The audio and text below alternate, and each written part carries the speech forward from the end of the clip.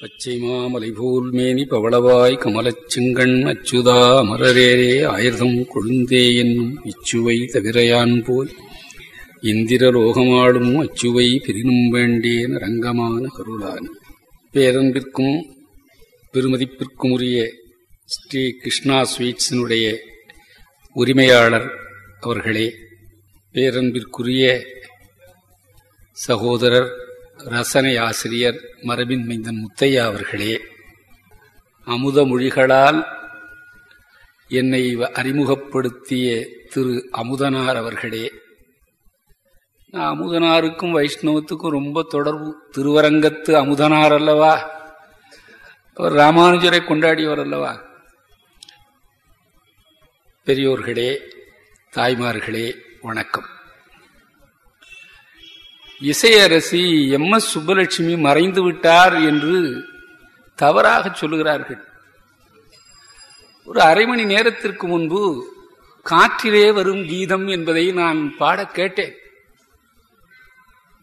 குறையொன்றும் இல்லாத கோவிந்தன் என்ற பாட்டையும் கேட்டேன்.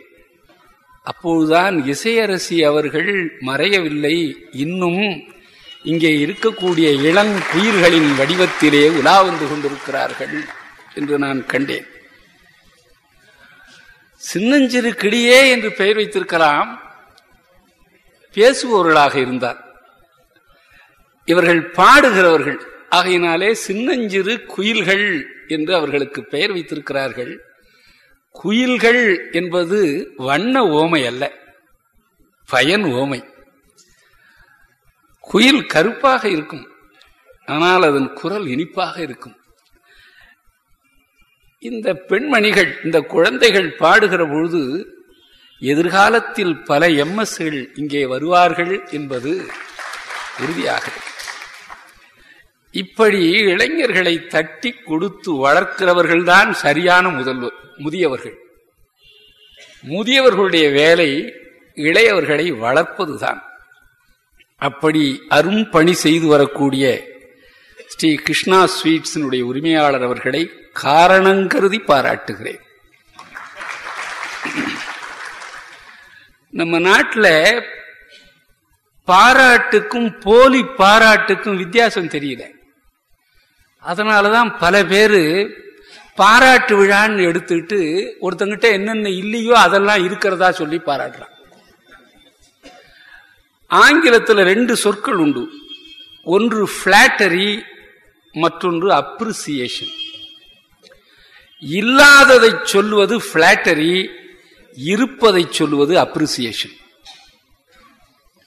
யார் ஒருவர் இருப்பதை உண்மையை சொல்லி பாராட்டுகிறாரோ அவரும் உயர்வார். பாராட்ட பெறுகிறவரும் உயர்வார். யார் ஒருவர் இல்லாததை சொல்லி எதிராளியை குளிப்பாட்டுகிறாரோ அவரும் வீழ்வார் எதிராளியும் வீழ்வார். நான் வாழ வேண்டும் என்பதற்காக இந்த பாராட்டுரையை வாழ வேண்டிய ஒருவருக்கு தெரிவித்துக் கொள்கிறேன். எனக்கு தெரிந்து ஆன்மீக கூட்டத்திற்கு இந்த அளவு அண்மை காலத்தில் எங்கும் பெருங்கூட்டம் கூடி நான் பார்க்கவில்லை. கோவை ஆன்மீக பயிர் வளர்கிற ஒரு பக்தி பண்ணை என்பது இந்த கூட்டத்தை பார்த்தால் உறுதியாகிறது. இருபத்தி ஓராம் நூற்றாண்டில் இரண்டாயிரத்தி ஏழாம் ஆண்டிலும் கூட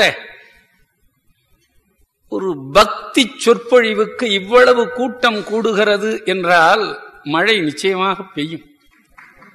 மாதம் மும்மாறி பெய்யும். கொஞ்சம் மாறி பெய்தாலும் கூட மாதம் மாதம் மும்மாறி பெய்யும். அழகான தலைப்பில் எப்பொழுது வருவாரோ அந்த தலைப்பிலேயே ஒரு ஏக்கம் தெரியலையா? எப்பொழுது வருவாரோ ஒரு எதிர்பார்ப்பு தெரியலையா? இப்படியெல்லாம் வாழ்ந்தவர்கள் மீண்டும் வர வேண்டும் என்ற ஒரு ஆசை தெரியவில்லையா? இப்படி ஏக்கம் எதிர்பார்ப்பு ஆசை இவற்றை விரவிக் கொண்டிருக்கக்கூடிய ஒரு அழகான தலைப்பில் ஆழ்வார்கள் என்ற தலைப்பில் என்னை பேச பணித்திருக்கிறார்கள்.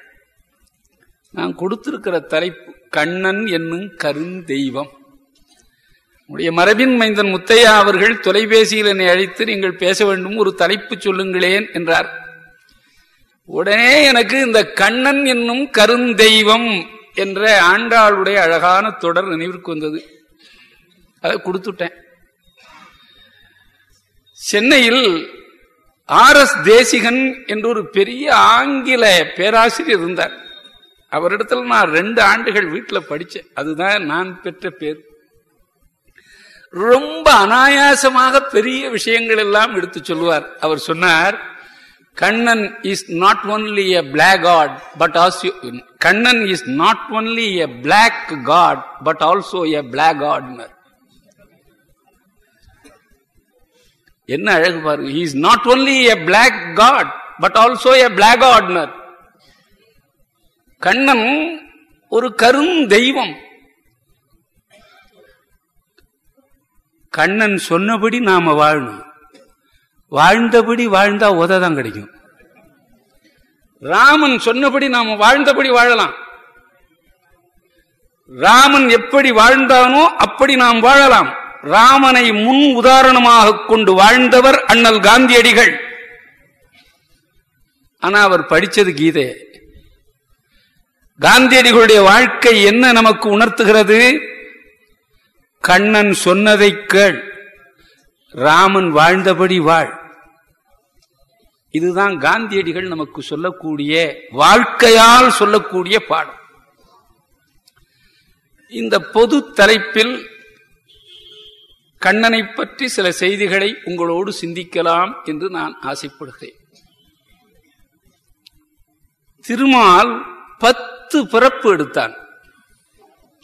தசாவதாரம் என்று சொல்கிறார்.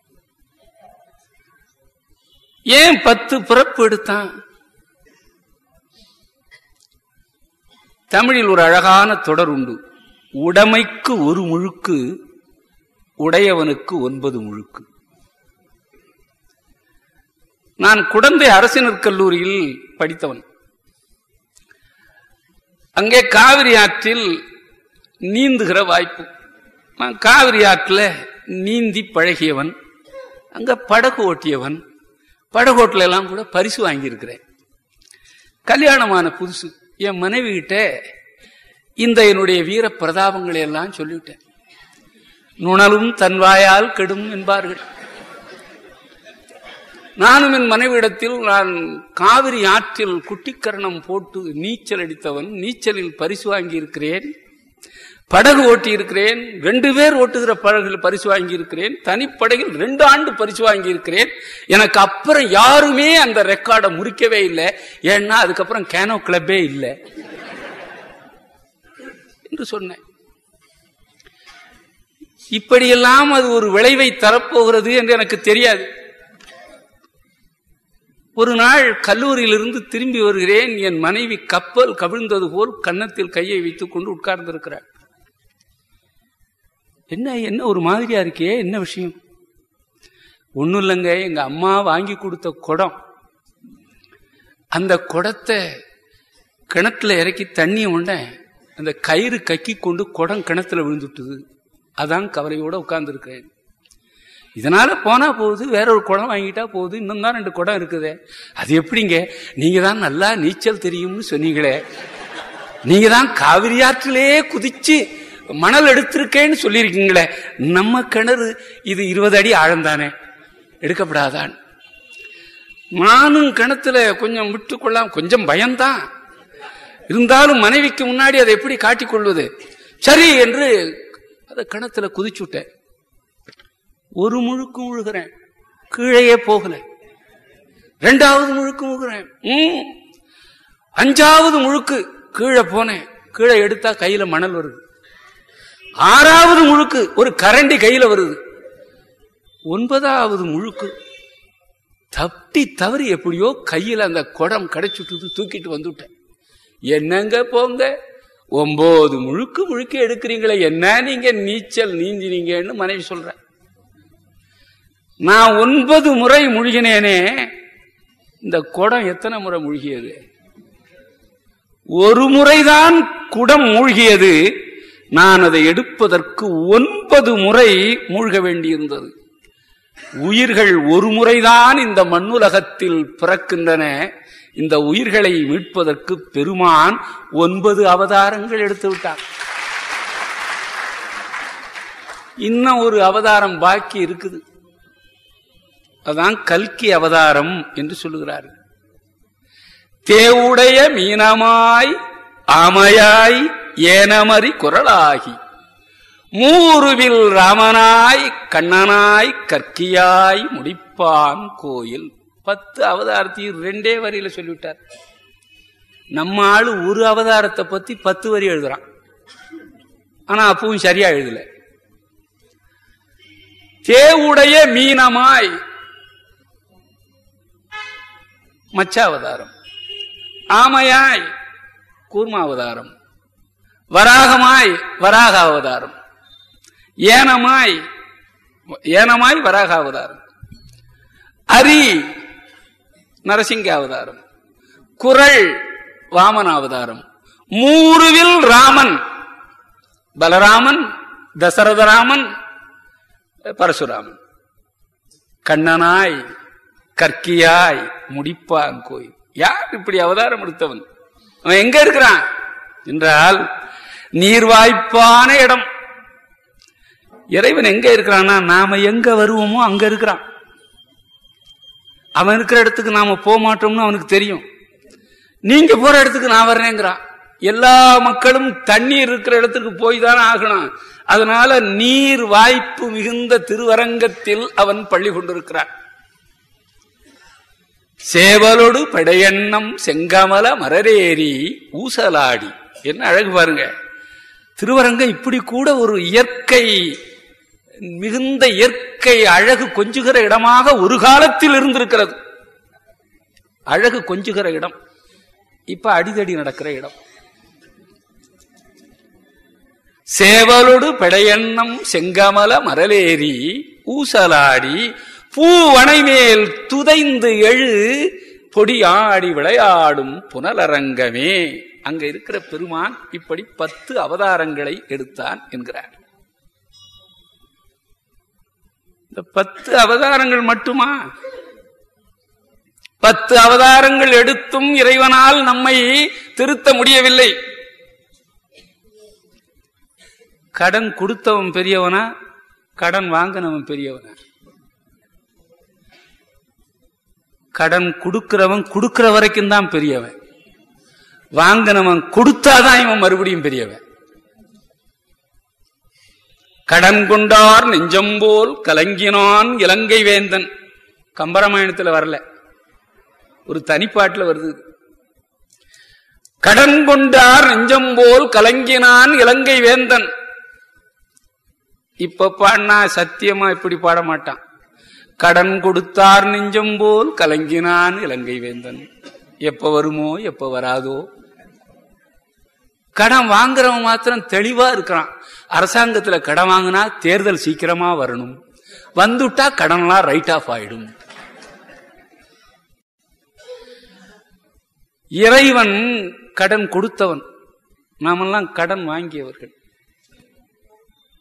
சுவாமி என்ற சொல்லுக்கு உடையவன் என்பது பொருள்.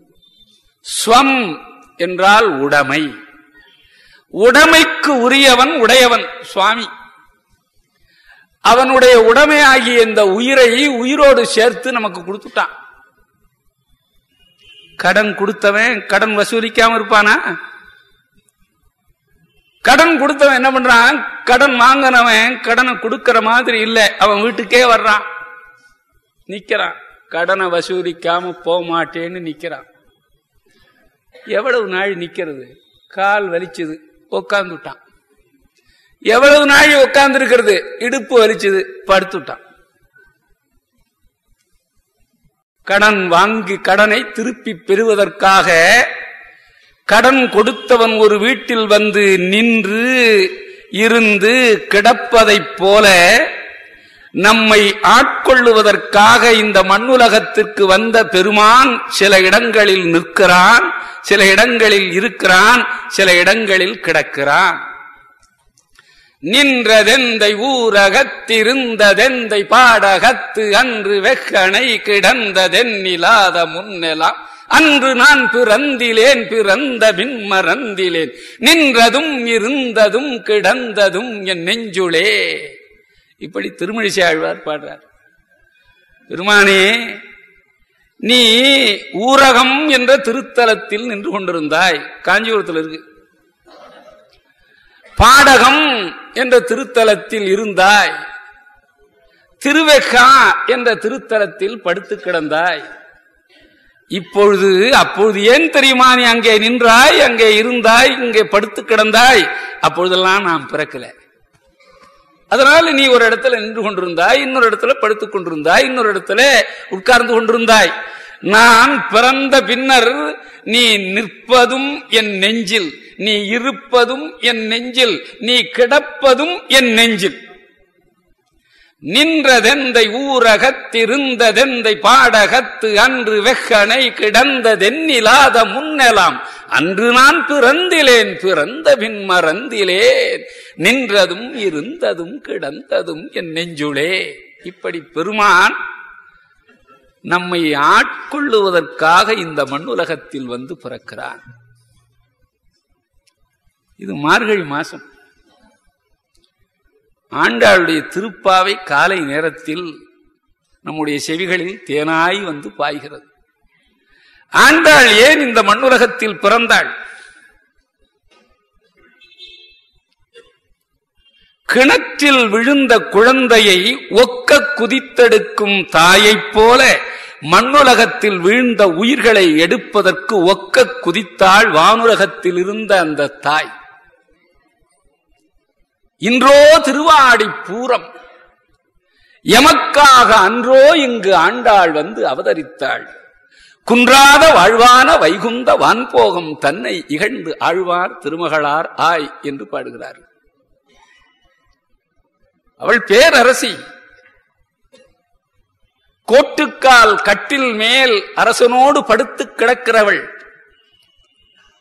பிள்ளை நோய்வாய்ப்பட்டு கிடக்கிறது. அவள் கட்டிலேயா படுத்து கிடப்பாள். தொட்டிலின் கீழே அல்லவா கிடப்பாள். பேரரசி அரசனோடு கட்டிலில் இருக்கிற இருப்பை விடுத்துவிட்டு நோய்வாய்ப்பட்ட குழந்தையின் தொட்டிலின் கீழே கிடப்பதைப் போல வைகுந்தத்தில் பெருமானோடு இருக்கிற இருப்பை விட்டுவிட்டு மண்ணுலகத்தில் உயிர்களை காப்பாற்ற வேண்டும் என்பதற்காக இங்கே ஆண்டாள் வந்து இந்த மண்ணுலகத்தில் அவதரித்தாள் என்கிறார்கள். இந்த பத்து அவதாரங்களில் ஒன்பது அவதாரங்கள் நிகழ்ந்து விட்டன. இந்த ஒன்பது அவதாரங்களில் நிறைவான அவதாரம் என்றால் ராமாவதாரம் கிருஷ்ணாவதாரமும் தான்.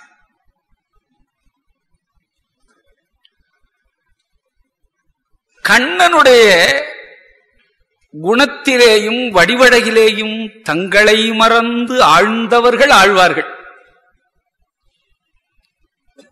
ஆழ்வார்கள்ங்கிற சொல்லுக்கு என்ன பொருள்? ஆழங்கால் படுபவர்கள் என்பது பொருள். இந்த ஆழங்கால் படுபவர் அப்படிங்கிற விளக்கத்தை காட்டும் ஆழ்வார்ங்கிற சொல்லே விளங்குற மாதிரி இருக்குல்ல? ஒருத்தன் சிம்பிளிசிட்டி அப்படிங்கிறதுக்கு என்ன பொருள்னு கேட்டான். பீயிங் அன்ஆஸ்டென்டேஷியஸ் சிம்பிளிசிட்டியே விளங்குதுரா எனக்கு. அது மாதிரி ஆழ்வார்கள் ஏதோ விளங்குற மாதிரி இருக்குது. ஆழங்கால் பட்டவர் என்னடா இது? புரியலையே. ஆழம்னா பள்ளம். ஆழங்கால்னா ரொம்ப பள்ளம்னு அர்த்தம். ஆழங்கால் படுதல்னா அப்படியே அமிழ்ந்து பள்ளத்திலேயே கிடத்தல்னு அர்த்தம். ஒரு பொருளில் ஒருவர் தம்மை மறந்து அதிலேயே திளைத்து கிடப்பாரே ஆனால் அவருக்கு ஆழ்வார்னு பேர். உலகத்தில் எத்தனை ஆழ்வார்கள்? பன்னெண்டு ஆழ்வார்கள் தானே? நாம பார்க்கிறவர்கள் எல்லாம் ஆழ்வார்கள் தான். ஒரு பையன் பார்க்கிறேன். இந்த திரைப்படத்தினுடைய பெரிய வால் போஸ்ட் ஒட்டியிருக்கான். அப்படியே பார்த்தான். பார்த்துக்கிட்டே நிக்கிறான். சைக்கிள்காரன் பெல் அடிக்கிறான். மோட்டர் சைக்கிள்காரன் பெல் அடிக்க ஹார்ன் பண்றான். கார்காரன் ஹார்ன் பண்றான். தன்னை மறந்து அப்படியே ஈடுபட்டு விட்டான். அவ்வளவு ஏன்? ஒரு சின்ன நிகழ்ச்சி சொல்றேன். எங்க வீட்டில் நடந்த நிகழ்ச்சி. என் ரெண்டாவது பையனுக்கு அருண்மொழின்னு பேர். நான் அருண்னு கூப்பிடுவேன். நம்ம எந்த பேரை தான் ஒழுங்கா முழுசா கூப்பிட்டுருக்கோம். நச்சினா இருக்கினியர்னு பேர் இருக்கும் நச்சரும்போம். கிருஷ்ணமூர்த்தின்னு பேர் இருக்கும் கிட்டும்போம் நாராயணசாமின்னா நானும்போம். ஆனா அப்படி நான் பெயரை சிதைக்கல. அருண்மொழி அருள்னு கூப்பிட்டேன். நல்ல பையன். அப்பாவுக்கு அடங்கின பையன். சில பையன் அப்பாவுக்கு அடங்குறான். சில பையனுக்கு அப்பா அடங்கிடுறார் நான் வீட்டில் பிரச்சனை இல்லாமல் இருக்கணும்னா யாராவது ஒருத்தர் அடங்கி போகணும். என் பையன் ரொம்ப அடக்கமான பையன். நானும் அவனும் ஒரே அறையில் உட்காந்துட்டு படிப்போம். நான் படிச்சுட்டே இருக்கும்போது சில சமயம் ஏன்பா கூப்பிட்டியா? அப்படிமா நான் எங்கடா கூப்பிட்டேன்? இல்லைப்பா கூப்பிட்ட மாதிரி இருந்தது. நான் ஒன்றும் கூப்பிடல. நீ படி. அவன் படிச்சுடுவான் ஒரு நாள் நான் ஏதோ படிச்சுக்கிட்டு இருந்தேன். இதை குறிக்க வேண்டியிருந்தது. என் பேனாவில் மை தீந்து போச்சு. பக்கத்தில் அவன் உட்காந்து படிச்சிருந்தான். டே அருண் பதிலே இல்லை. கொஞ்சம் குரலை உயர்த்தி டேய் அருண். பதிலே இல்லை. ரெண்டு முறை குரலை உயர்த்தி பக்கத்தில் இருக்கிற பையனை கூப்பிட்டு அவன் ஏன்னு கேட்கலன்னா நமக்கு கோபம் வரலன்னா நாம மனுஷனா? நான் மனுஷன். எனக்கு கோபம் வந்துடுது. டேய் சனியனே ஒன்னதாண்டான்னு ஏன்பா கூப்பிட்டியான்னு? இப்படி கூப்பிட்டாதான் நீ ஏன்னு கேட்பேன்னா முதல்ல இப்படி கூப்பிட்டுருப்பனடா. என்னப்பா என்ன விஷயம்? பேனாவில் இங்கு தீந்து போச்சுடா ஓம் பேனாவை கொடுன்னு. என் பேனாலும் இங்கு தீந்து போச்சுப்பா நீ கொஞ்சம் என் பேனாவுக்கு இங்கு போட்டு விடுனாங்க இப்ப செய்தி இது இல்லை. இதற்கு முன்னெல்லாம் நான் கூப்பிடுவதற்கு முன்னமேயே ஏன்பா கூப்பிட்டியான்னு கேட்கிற ஒரு நல்ல பையன் இன்றைக்கு நான் ரெண்டு முறை பக்கத்தில் இருந்து குரலை உயர்த்தி டே அருண்னு கூப்பிட்டு ஏன்னு கேட்கலையே ஏன்? ஆராய வேண்டாம். நூலை ஆராய்ந்தா போதுமா? ஆழ்வார்களை ஆராய்ந்தா போதுமா? பக்கத்தில் இருக்க பையனுடைய இயற்கை ஆராய வேண்டுமா? ஆராய்ந்ததுல ஒரு உண்மை கிடைச்சது. இதுக்கு முன்னாடி எல்லாம் அவன் பிசிக்ஸ் பாட புத்தகத்தை படிச்சுக்கிட்டு இருந்தான். இன்னைக்கு வெள்ளிக்கிழமை சுட சுட ஆனந்த விடன்ல வந்திருக்கிற தொடர் கதையில ஆழ்ந்திருக்கிறான். நான் அவனை சொன்னேன் இன்னையில இருந்து உனக்கு பேர் அருண் இல்லடா விகடாழ்வார்னு. நம்மில் விகடாழ்வார்கள் உண்டு குங்குமாழ்வார் உண்டு குமுதாழ்வார் உண்டு தந்தியாழ்வார் உண்டு ஹிந்து ஆழ்வார் உண்டு. இன்னும் கிறிஸ்டியன் ஆழ்வார் தான் இல்லை. ஏ தன்னை மறந்து ஒருவன் ஒரு விஷயத்தில் ஈடுபட்டான் என்றால் அவன் ஆழ்வான். அப்ப நமக்கெல்லாம் ஏன் ஆழ்வார்னு பேர் இல்லை? ஏன் பன்னெண்டு பேருக்கு மாத்திரம் ஆழ்வார்னு பேரு? அவர்கள் ஆழ வேண்டிய பொருளில் ஆழ்ந்ததனால் ஆழ்வார்கள்னு பேரு. நாம ஆழ வேண்டாத விஷயத்தில் வீழ்ந்ததனால் நமக்கு ஆழ்வார்கள்னு பேர்ல. நமக்கு ஒரு பேர் தரணும்னா ஒரு அழகான பேர் தரலாம். வீழ்வார்கள். வாழ்கின்றாய் வாழாத நெஞ்சமே வல்வினைப்பட்டு வீழ்கின்றாய் நீ அவலக் கடலாய வெள்ளத்தே. மாணிக்க வாசகர் பாடுறார். ஆழ்வார்கள் தங்களை மறந்து ஒரு பொருளில் ஆழ்ந்தவர்கள். இந்த பனிரெண்டு ஆழ்வார்களும் தங்களை மறந்து இறைவனுடைய பண்புகளில் இறைவனுடைய வடிவழகுகளில் ஆழ்ந்தவர்கள். இதுல சிலர் ராமனிடத்தில் ஈடுபாடு. சிலருக்கு திருவேங்கடநாதனிடத்தில் ஈடுபாடு. சிலருக்கு திருவரங்கத்தில் ஈடுபாடு சிலருக்கு கண்ணனிடத்தில் ஈடுபாடு வைணவம் ரொம்ப விரிந்த சமயம். நீங்கள் எந்த வடிவத்தில் இறைவனை நினைக்கிறீர்களோ அந்த வடிவத்தில் இறைவன் உங்களுக்கு சேவை சாதிப்பான்.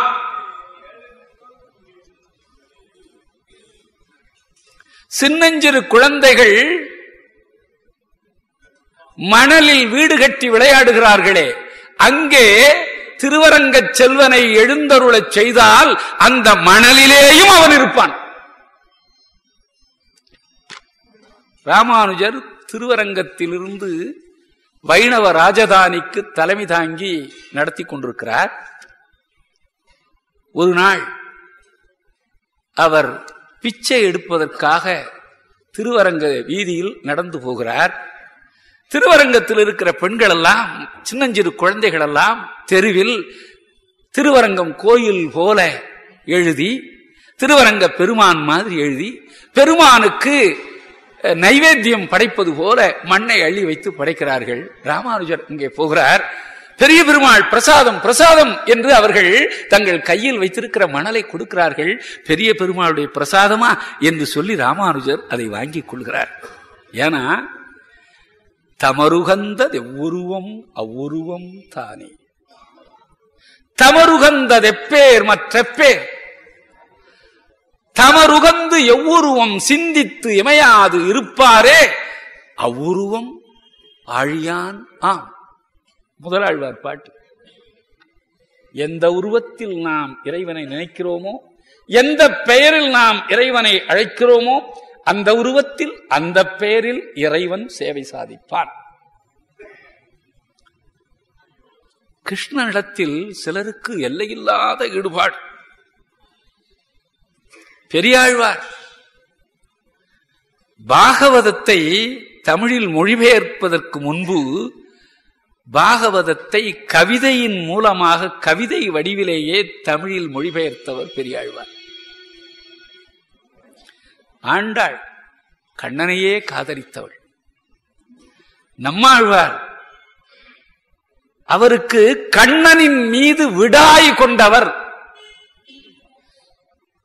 கிருஷ்ண திருஷ்ணா தத்துவம் அப்படின்னு பேர். திருஷ்ணைனா தாகம். கிருஷ்ண திருஷ்ணா தத்துவம் என்றால் கண்ணனின் மீது தாகம் கொண்ட ஒருவர் என்று அவருக்கு பேர். பெரியாழ்வார் எங்கேயோ இருந்த கோகுலத்தை மீண்டும் திருக்கோட்டியூரில் அமைத்து காட்டுகிறார். கண்ணன் திருக்கோட்டையூர் பிறக்கிறான். திருக்கோட்டியூர் அழகான மாள மாளிகைகள் நிறைந்த ஊர். அங்கே நந்தகோபருடைய மாளிகை. வசுதேவர் மகனாக பிறந்த கண்ணன் நந்தகோபர் மாளிகையில் வந்து வளர்வது மாதிரி கண்ணன் திருக்கோட்டியூரில் வந்து வளர்க்கிறான் பிறக்கிறான். கண்ணன் பிறக்கிற வரைக்கும் தான் அவங்க அப்பா பேரை சொல்லி அவர் வீடும்பார்கள். கண்ணன் பிறந்துட்டா அவன் வீடு ஆளு அதான் கண்ணனுடைய சிறப்பு. ரொம்ப அழகாக ஆண்டாள் நாச்சியார் பாடுகிறாள். ஏற்ற கலங்கள் எதிர்பொங்கி. மீதளிப்ப மாற்றாதே வள்ளல் பெரும் பசுக்கள். ஆற்ற படைத்தான் மகனேனர். நந்தகோபன் முயன்று ஈட்டியது இந்த மாடுகள். அவனுக்கு மகனாக பிறந்து அத்தனையையும் ஈட்டியவன் கண்ணன். நந்தகோபன் முயன்று ஈட்டினான். கண்ணன் முயலாமல் அவனுக்கு மகனாக பிறந்து எல்லாவற்றையும் தன்னுடைய உடைமையாக ஆக்கிக் கொண்டான். வண்ண மாடங்கள் சூழ் திரு கோட்டியூர் கண்ணன் கேசவன் நம்பி பிறந்த ஈனில். அந்த காலத்துல குழந்தை பிறந்தது என்றால் எல்லாரும் எண்ணெய் தேய்த்து குளித்து ரொம்ப மகிழ்ச்சியாக இருந்தார்கள். இப்ப எண்ணெய் தேய்த்து குளிக்க வேண்டும் ஒரு குடும்பத்தில் இருக்கிறவர்கள் எல்லாரும் என்றாலேயே இருந்த மகிழ்ச்சியும் போயிடும். பத்து பேர் இருக்கிற வீட்டில் எண்ணெய் தேய்த்து குளிக்கணும்னா ஒரு கிலோ எண்ணெய் ஆகுமே நூறு ரூபாய்க்கு எங்க போறதுன்னு சராசரி வருமானம் உடையவன் தடுமாறுவான். மகிழ்ச்சிக்கு ஒரு போக்கு வீடு.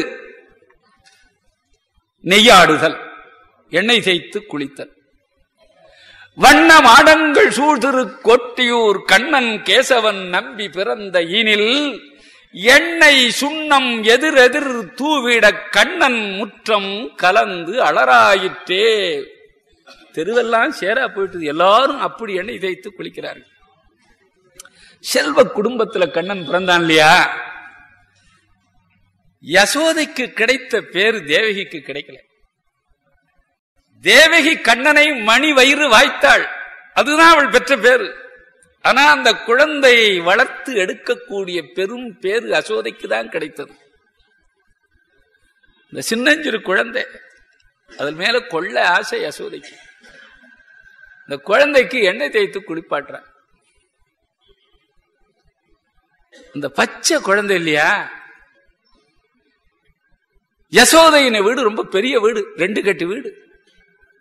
நடுவுல வாசல் பக்கத்துல எல்லாம் தாழ்வாரம் கூடம் எல்லாம் இருக்கிற வீடு.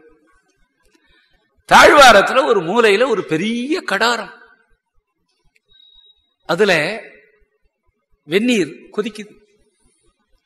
யசோதை அந்த முற்றத்துல ஒரு மூலையில போய் தன்னுடைய சேலையை மடித்து கொண்டு காலை நீட்டிக்கொண்டு அந்த குழந்தையை குப்புற போட்டிருக்கிறார். பரம்பொருள் கண்ணன் யசோதையின் கார் கடையில் கிடக்கிறான்.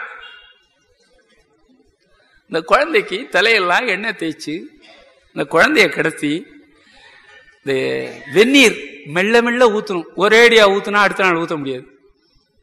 மூச்சு போயிடும். அந்த குழந்தைக்கு பச்சை மண்ணு கை வலிக்கும் கால் வலிக்கும் என்று கையையும் காலையும் பிடித்து அந்த குழந்தைக்கு தண்ணீர் ஊற்றி குளிப்பாட்டுகிறார்.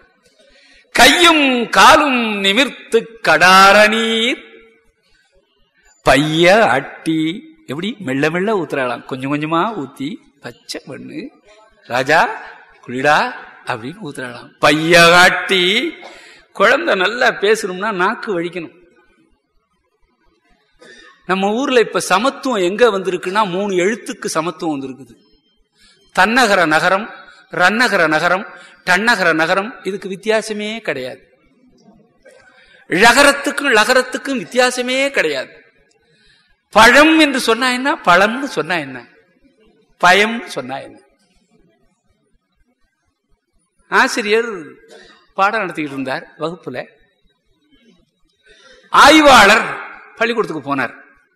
அந்த காலத்துல எல்லாம் ஆய்வாளர்னு ஒருத்தர் வருவார் இன்ஸ்பெக்டர் நான்லாம் படிக்கிற பொழுது டேய் நாளைக்கு இன்ஸ்பெக்டர் வர்றார். எல்லாம் சட்டை போட்டுக்கிட்டு வாங்கடாம்பார். அப்படின்னா அந்த காலம் எப்படி இருந்து பாருங்க பல பேர் சட்டை போடாம வகுப்பறைக்கு போகும் எல்லாம் தலை செய்விட்டு வரணும்டா அப்படிம்பார்.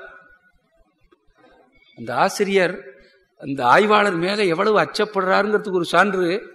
ராமசாமி உன்னை பார்த்து காந்தியடிகள் பிறந்த ஊர் என்னன்னு கேட்பேன் நீ டக்குன்னு எழுந்திருச்சு போர் பந்திருக்கணும் குப்புசாமி உன்னை பார்த்து நேருவினுடைய தாயார் பேர் யாருன்னு கேட்பேன் நீ சொரூபராணின்னு சொல்லணும். இன்ஸ்பெக்டர் வருவார் வாத்தியாருக்கே நடுக்கம் வந்துட்டுது. ராமசாமி நேருவினுடைய தாயார் பேர் என்ன குப்புசாமியை பார்த்து கேட்க வேண்டிய கேள்வி இது. ராமசாமி எழுந்திருச்சான். சார் என்ன பார்த்து கேட்க வேண்டிய கேள்வி இது இல்ல சார். குப்புசாமியை பார்த்து கேட்க வேண்டிய கேள்வி சார். என்ன பார்த்து கேட்க வேண்டியது? காந்தியடிகள் பிறந்த ஊர் என்னங்கிறது சார். பச்சை பையன் இல்லையா சின்ன பையன் இல்லையா பொய் சொல்ல தெரியாது. சூதுவாது இல்லாத. அது மாதிரி ஆசிரியர் போனார். ஆசிரியர் பாடம் நடத்திக்கிட்டு இருந்தார். அந்த ஆய்வாளர் போனார். அந்த ஆசிரியர் முக்கனிகளை பத்தி பாடம் நடத்திட்டு இருந்தார். வாழை மா பலா கனி முக்கனிகள் அப்படின்னார். இந்த ஆய்வாளருக்கு கனிகளை வாங்கி சாப்பிட முடியாட்டி போனாலும் அந்த பெயரை கேட்டாவது மகிழ்வோமேன்னு தம்பி முக்கனிகள் யாவையினர் பையன் சொன்னான் வாழைப்பழம் பலாப்பழம் மாம்பழம்னர். சில பேர் வாழைப்பழம் மாம்பழம் பலாப்பழம் பார்கள் நான் நினைச்சுக்கிறது ஓஹோ இன்னும் பழம் கனியில போல இருக்கு. கா விட்டா இருக்குது. அதான் பழம் பழம்ங்கிறார். நாளைக்கு போனா கரிஞ்சிருக்கும்னு நினைக்கிறது.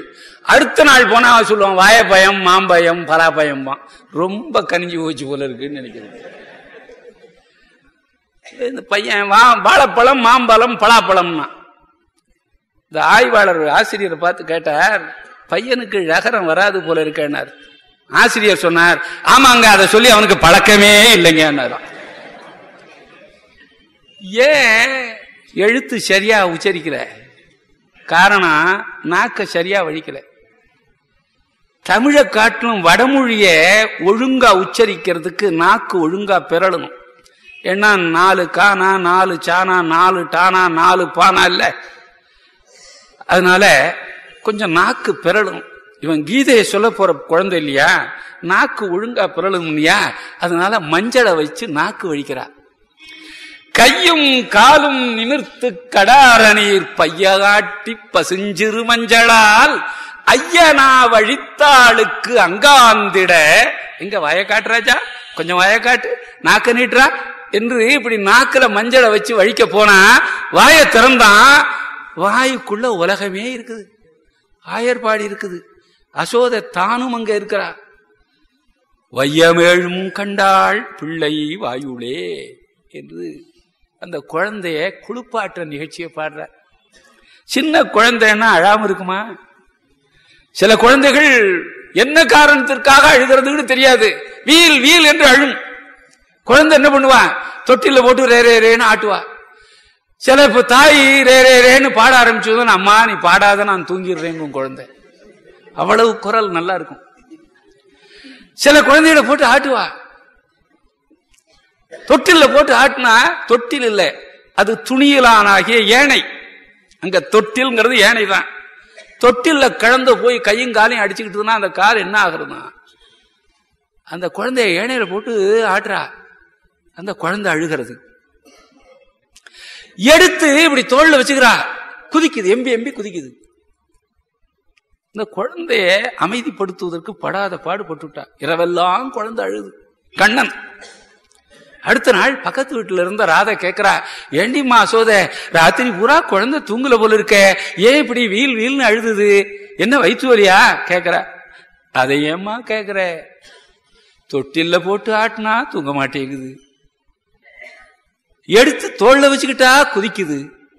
ஒடுக்கி இடுப்புல அணைத்து கொண்டால் இடுப்பே உடைந்து போயிடும் போல அப்படி குதிக்குது. என் இடுப்பு உடைஞ்சு போயிடுமேன்னு நான் வருத்தப்படல. பச்சை மண்ணாச்சே இப்படி குதிக்கிறே அதுக்கு உடம்பு ஏதாவது நொந்து விடுமோ என்று வருந்தினேங்கிறார். கிடக்கில் தொட்டில் கிழிய உதைத்திடும் எடுத்துக்கொள்கில் மருங்கை இருத்திடும். ஒடுக்கி புல்கில் உதரத்தே பாய்ந்திடும் இடுக்கிலாமையால் நான் மெலிந்தேன் நங்காய். ஐயோ இந்த பச்சை குழந்தை இப்படி அடித்துக் கொள்கிறதே கையுங்காலையும் போட்டு உதைத்துக் கொள்கிறதே இதற்கு என்ன ஆகிவிடுறதோ என்று அஞ்சினேன் என்று பாடுறார். இந்த குழந்தை வளர்வு அந்த குழந்தை தன்னுடைய காலை எடுத்து வாயில வச்சுக்குது. அதை பாடுறா. இந்த குழந்தை யார்? கடல்ல அமுதம் தோன்றும். அது உப்பு சாறு. அதைவிட அமுதமயமாக இருக்கிறவள் தேவகி. சீத கடலுள் அமுதன்ன தேவகி. யசோதை ஆயர் பெண் அல்லவா நல்ல முல்லைப்பூ சூடி கொண்டிருப்பாள் கோதை குழலாள் அசோதைக்கு போத்தந்த பேதை குழவி.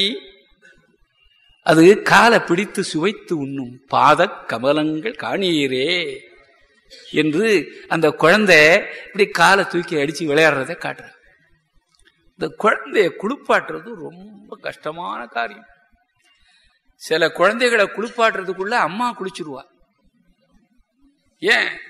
அது அங்க ஓடும் இங்க ஓடும் அம்மாவை கட்டி பிடிச்சிக்கும்.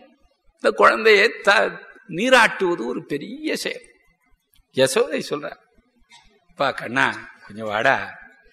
கொஞ்சம் குளிச்சுட்டா குளிச்சு ரெண்டு நாளா ஆகுதுரா உடம்பெல்லாம் பார்த்தா ஒரே புழுதி. அதுவும் மாட்டு கொட்டகையில போய் கூத்து அடிச்சிருக்கிறேன். உடம்பெல்லாம் ஒரே புழுதியா இருக்குடா. எனக்கு பார்த்தா நல்லா இருக்குது. ஆனா ஊர்ல இருக்கவங்க எல்லாம் என்னத்த பிள்ளைய வளர்க்கிறா? இப்படி உடம்பு பூரா ஒரே அழுக்கு. இப்படி வச்சிருக்காளே. வாடா கண்ணா வாடா. அவன் வரமாட்டேங்கிறான். போ நான் முடியாது. நான் வேண்டாம் நான் குளிக்கல. இல்லடா வாடா கண்ணா. அதெல்லாம் சரி. ஊர்ல இருக்கவங்க எல்லாம் சிரிப்பாங்க. அது கூட இல்லடா யசோத பார்த்தா சிரிப்பாடு. நப்பெண்ணை பார்த்தா சிரிப்பாடா? வாடா ராஜா மாணிக்கமே மணியே மஞ்சனம் ஆட வாராய்ங்கிற பூனி தொட்டில் புக்கு புழுதி ஆடிய பொன்மேனி காணில் பெரிதும் முகப்பன். எனக்கு ரொம்ப மகிழ்ச்சி. ஆகிலும் ஊரார் பழிப்பர். ஆனா ஊர்ல இருக்கிறவர்கள்லாம் என்ன பிள்ளை வளர்க்கிற? உடம்பெல்லாம் ஒரே நாத்த அடிக்குது. நாணம் சிறிதும் இல்லாய். நாணம் ஒன்றும் இல்லாய். நப்பிண்ணை காணிச் சிரிக்கும். மாணிக்கமே என் மணியே மஞ்சனும் ஆடனி வாராய். இப்படி சொல்ற. இந்த குழந்தை ரொம்ப வளர்றான் கண்ணனுக்கு வேணுகோபாலன் ஒரு பேர். வேணுன்னா மூங்கி பெரியாழ்வாருடைய பாட்டில் இது ரொம்ப அழகான ஒரு பாட்டு. கண்ணன் குழல் ஊதுகிற அந்த காட்சியை பெரியாழ்வார் தம்மை மறந்து பாடுகிறார். பேச்சில் சில பேர் அப்படியே கையும் காலையும் இப்படியே வைத்து கொண்டு பேசுவார் பொம்மை பேசுகிற மாதிரி இருக்கும். வாய் மாத்திரம் அசைய மாதிரி இருக்கும். இது சில பேருடைய இயல்பு. சில பேர் வீட்டில் உடற்பயிற்சி செய்ய முடியாத குறையை மேடையில் ஏறி ஒன்றும் இந்த மாதிரி தாராளமா இடம் நான் கையையும் கால் ஆகவேதான் நறுவை நண்பர்களே நான் இந்த செய்தியை உங்களுக்கு தெரிவிக்கிறேன்னு ஒரு உட்கார்ந்துகிட்டே டான்ஸ் ஆடிடுவார் இப்படி சில பேர். சில பாடகர்கள் பாட்டு என்பது தொண்டைக்குரிய தொழில்ங்கிறதையே மறந்துட்டு கைகாலுக்குரிய தொழில்னு நினைத்துக்கிட்டு கையை அங்கேயும் இங்கேயும் ஆட்டி சிரித்துட்டு ஒரு அமக்களம் பண்ணுவார்கள். அவர்கள் பாடுறதை விட அவர்கள் செய்கிற சேட்டையை பார்த்து மகிழ்வார்கள். ஆனா எதுலேயும் ஒரு அளவான மெய்ப்பாடு இருக்கணும். கண்ணன் குழல் ஊதுறான். இந்த கைகள் அந்த புல்லாங்குழல்ல அப்படியே வண்டுகள் போய் உட்கார்ற மாதிரி அப்படி மாறி மாறி உட்காருகிறது. அது அப்படியே பரிமாறுகிறான் நாங்கள் விரலை அடைத்து மாற்றி மாற்றி. அப்ப இந்த கண் அப்படியே குவியுது. அப்படி குவித்து கொண்டு வாசிக்கிறான். வாய் கொப்பளித்தல்னா அப்படி மெல்ல ஊதுறான். கொப்பளித்தல்னா நாயனம் ஊதுற மாதிரி நினைச்சுக்க கூடாது நாயனம் ஊதுற போது அப்படியே மூச்சு அடக்கி கொண்டு அப்படியே வாய் உப்பிடும் கன்னங்கள்லாம் உப்பிடும் அப்படி இல்லை. ஊதுகிறான். அதை ஊதுற போது அந்த மெல்ல வாயிலிருந்து கொப்பளிக்கிறான் இந்த காற்றை. இதுக்குள்ள சின்ன பையன் இல்லையா? மரத்துல சாய்ந்து கொண்டு ஒரு காலை மடக்கி நின்று கொண்டு அப்படி வாசிக்கிறான். அப்ப நெற்றியிலெல்லாம் அப்படியே வேர்வை வந்து விடுகிறது. அப்படி வாசிக்கிறான். அது அமுத கானம். வானத்தில் இருந்த தேவர்கள் எல்லாம் கீழே இறங்கி வந்து விட்டார்கள். பறவைகள் எல்லாம் கூட்டை துறந்து வந்து கண்ணன் குழல் ஊத ஊத அப்படியே கீழே சாய்ந்து கிடக்கின்றன. புயல் அடித்த பொழுது மரங்கள் எல்லாம் கீழே கிடக்கிற மாதிரி அப்படியே பறவைகள் எல்லாம் கிடக்கின்றன. இந்த கறவை மாடுகள் இருக்கின்றனவே அவற்றிற்கு மகிழ்ச்சி வந்து விட்டால் அப்படியே காலை பரப்பிக் கொண்டு படுத்திருக்கும். இந்த தலையை கூட ஆட்டலையா? அப்படி கிடக்குதுங்கிறார். இந்த காலத்துல தொலைக்காட்சி வந்துட்டு ஒருவர் மேடையில் பேசுகிறார் என்றால் நெற்றியிலெல்லாம் அப்படியே வேர்வை வந்து விடுகிறது. அப்படி வாசிக்கிறான். அது அமுத கானம். வானத்தில் இருந்த தேவர்கள் எல்லாம் கீழே இறங்கி வந்து விட்டார்கள். பறவைகள் எல்லாம் கூட்டை துறந்து வந்து கண்ணன் குழல் ஊத ஊத அப்படியே கீழே சாய்ந்து கிடக்கின்றன. புயல் அடித்த பொழுது மரங்கள் எல்லாம் கீழே கிடக்கிற மாதிரி அப்படியே பறவைகள் எல்லாம் கிடக்கின்றன. இந்த கறவை மாடுகள் இருக்கின்றனவே அவற்றிற்கு மகிழ்ச்சி வந்து விட்டால் அப்படியே காலை பரப்பிக் கொண்டு படுத்திருக்கும். இந்த தலைய கூட ஆட்டலையா? அப்படி கிடக்குதுங்கிறார். இந்த காலத்துல தொலைக்காட்சி வந்துட்டு ஒருவர் மேடையில் பேசுகிறார் என்றால் அவரை காட்டுவார்கள். அவருடைய முகபாவத்தை காட்டுவார்கள். அதன் பின்னர் கூட்டத்தில் இருக்கிறவர்கள் எவ்வாறு அந்த பேச்சை வாங்கிக் கொள்ளுகிறார்கள் என்பதை காட்டுவதற்காக கூட்டத்தினருடைய எதிர் விளைவு என்ன என்று அவர்களை படம் பிடித்து காட்டுவார். பெரியாழ்வார் சொல்றார் கண்ணன் குழல் ஊதுறான். இது முதல் ஷாட்.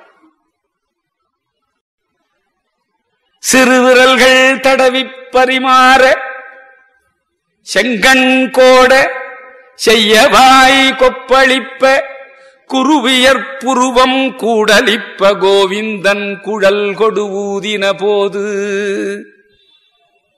இப்ப கண்ணனை காட்டியாச்சு. இந்த இசையினால் பறவைகள் என்ன நிலையை அடைந்தன? கறவைகள் என்ன நிலையை அடைந்தன? அத சொல்றார். பறவையின் கணங்கள் கூடு துறந்து வந்து சூழ்ந்து படுகாடு கிடப்ப. கறவையின் கணங்கள் கால் பரப்பிட்டு கவிழ்ந்து இறங்கி செவியாட்டகில்லாவே அப்படியே தம்மை மறந்து அந்த மாடுகள்லாம் அந்த இசையை கேட்டு காது ஆட்டுவதை கூட மறந்து விட்டனங்கிறார். காது ஆட்டுவது ஒரு அனிச்ச செயல். அப்படி ஆடுகின்றன என்று பாடுறார். இது பெரியாழ்வாருடைய அற்புதமான பாடல். கண்ணன்னு சொன்னாலேயே நமக்கு ஆண்டாள் தான் நினைவுக்கு வரும். கண்ணன் என்னும் அந்த கருண் தெய்வத்தோடு அன்றாடம் பழகி கிடந்தவள் அவள். ஆண்டாளுக்கு ரெண்டு நிலை உண்டு. ஒரு பாவை நோர்க்கும் இடைப்பெண்ணாக இருந்து கண்ணனை பாடுவது ஒரு நிலை. கண்ணன் மீது காதல் கொண்டு அவனை காதலிக்கும் ஒரு பெண்ணாக பாடுவது இன்னொரு நிலை. ஒரு இடை பெண்ணாக இருந்து பாடுகிற பொழுது அவன் இவன் பாடுவான். கிள்ளி களைந்தானே கீர்த்திமை பாடிப்போய் அப்படி பாடுவார். காதலனாக பாடுகிற பொழுது அப்படி பாட மாட்டார் பக்கத்து வீட்டு பக்கத்து வீட்டுல ஒரு பையன் இந்த வீட்டுல ஒரு பெண்ணு அந்த பெண்ணுக்கும் பையனுக்கும் ஒரு ரெண்டு மூணு வயசு வித்தியாசம். சின்ன வயசுலேருந்து ரெண்டு பேரும் தெருவில் புழுதி ஆடி புழுதியில் அலைந்து விளையாடுவார்கள். சில சமயம் அந்த பையன் கோபம் வந்துடும் பலாருன்னு ஒன்று வச்சிருவான். உடனே அவ போடா கழுத சி நாய போடா இனிமே உன்னோட விளையாட மாட்டேன் அப்படின்னு சொல்லிட்டு போவா. இப்படியே விளையாடு வளர்கிறார்கள். அவளுக்கு ஒரு பன்னெண்டு பதிமூணு வயசாச்சு. அந்த பையனுக்கு ஒரு பதினெட்டு பத்தொன்பது வயசாச்சு. ரெண்டு பேரும் பொருத்தமா இருந்தது. ரெண்டு பேருடைய பெற்றோர்களும் அந்த பையனுக்கு அந்த பெண்ணை மனம் முடிக்கலாம்னு நினைத்தார்கள். மனம் பேசிவிட்டார்கள். இதற்கு முன்பெல்லாம் அவனை அவன் இவன் சொல்லிட்டு இருப்பார். இப்ப கல்யாணம் நிச்சயமாகிவிட்டது. இப்ப அந்த பையனை பற்றி அவள் பேச ஆரம்பித்தாள் என்ன சொல்லுவா? அவன் வீட்டுலன்னு சொல்லுவாளா? இந்த காலத்து பொண்ணா இருந்தா சொல்லுவா. இப்ப கல்யாணம் ஆயிட்டே டே என்னடா வடா போடான்னு பேசுறதுதான ஒரு நாகரிகம். ஆனா அந்த காலத்து நாகரிகம் அவங்க வீட்டுல அவங்க வீட்டில அவர் வீட்டில் சொன்னாங்க அப்படிம்பா.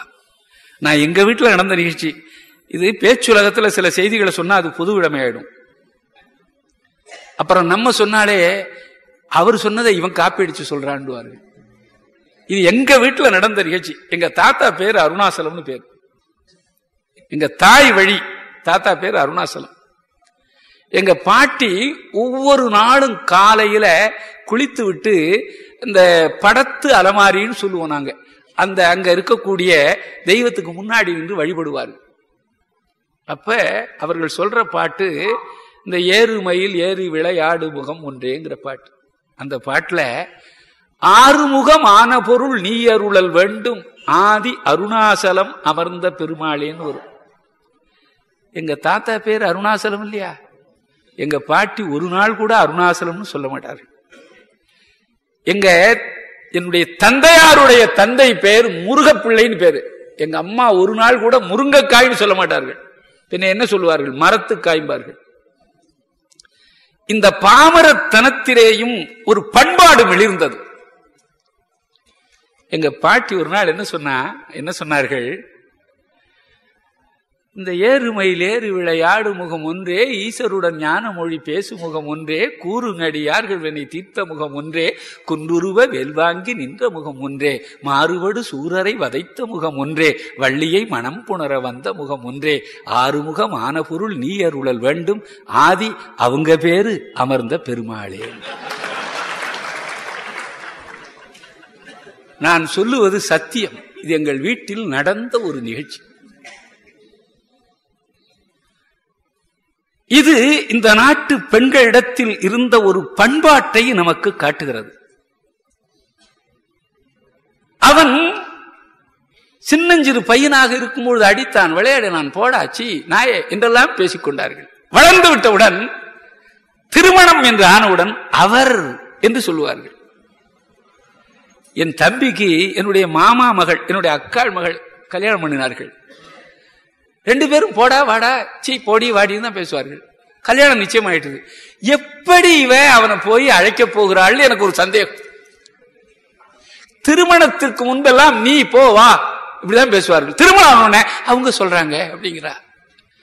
இது இயல்பாக வருகிற ஒரு பழக்கம்.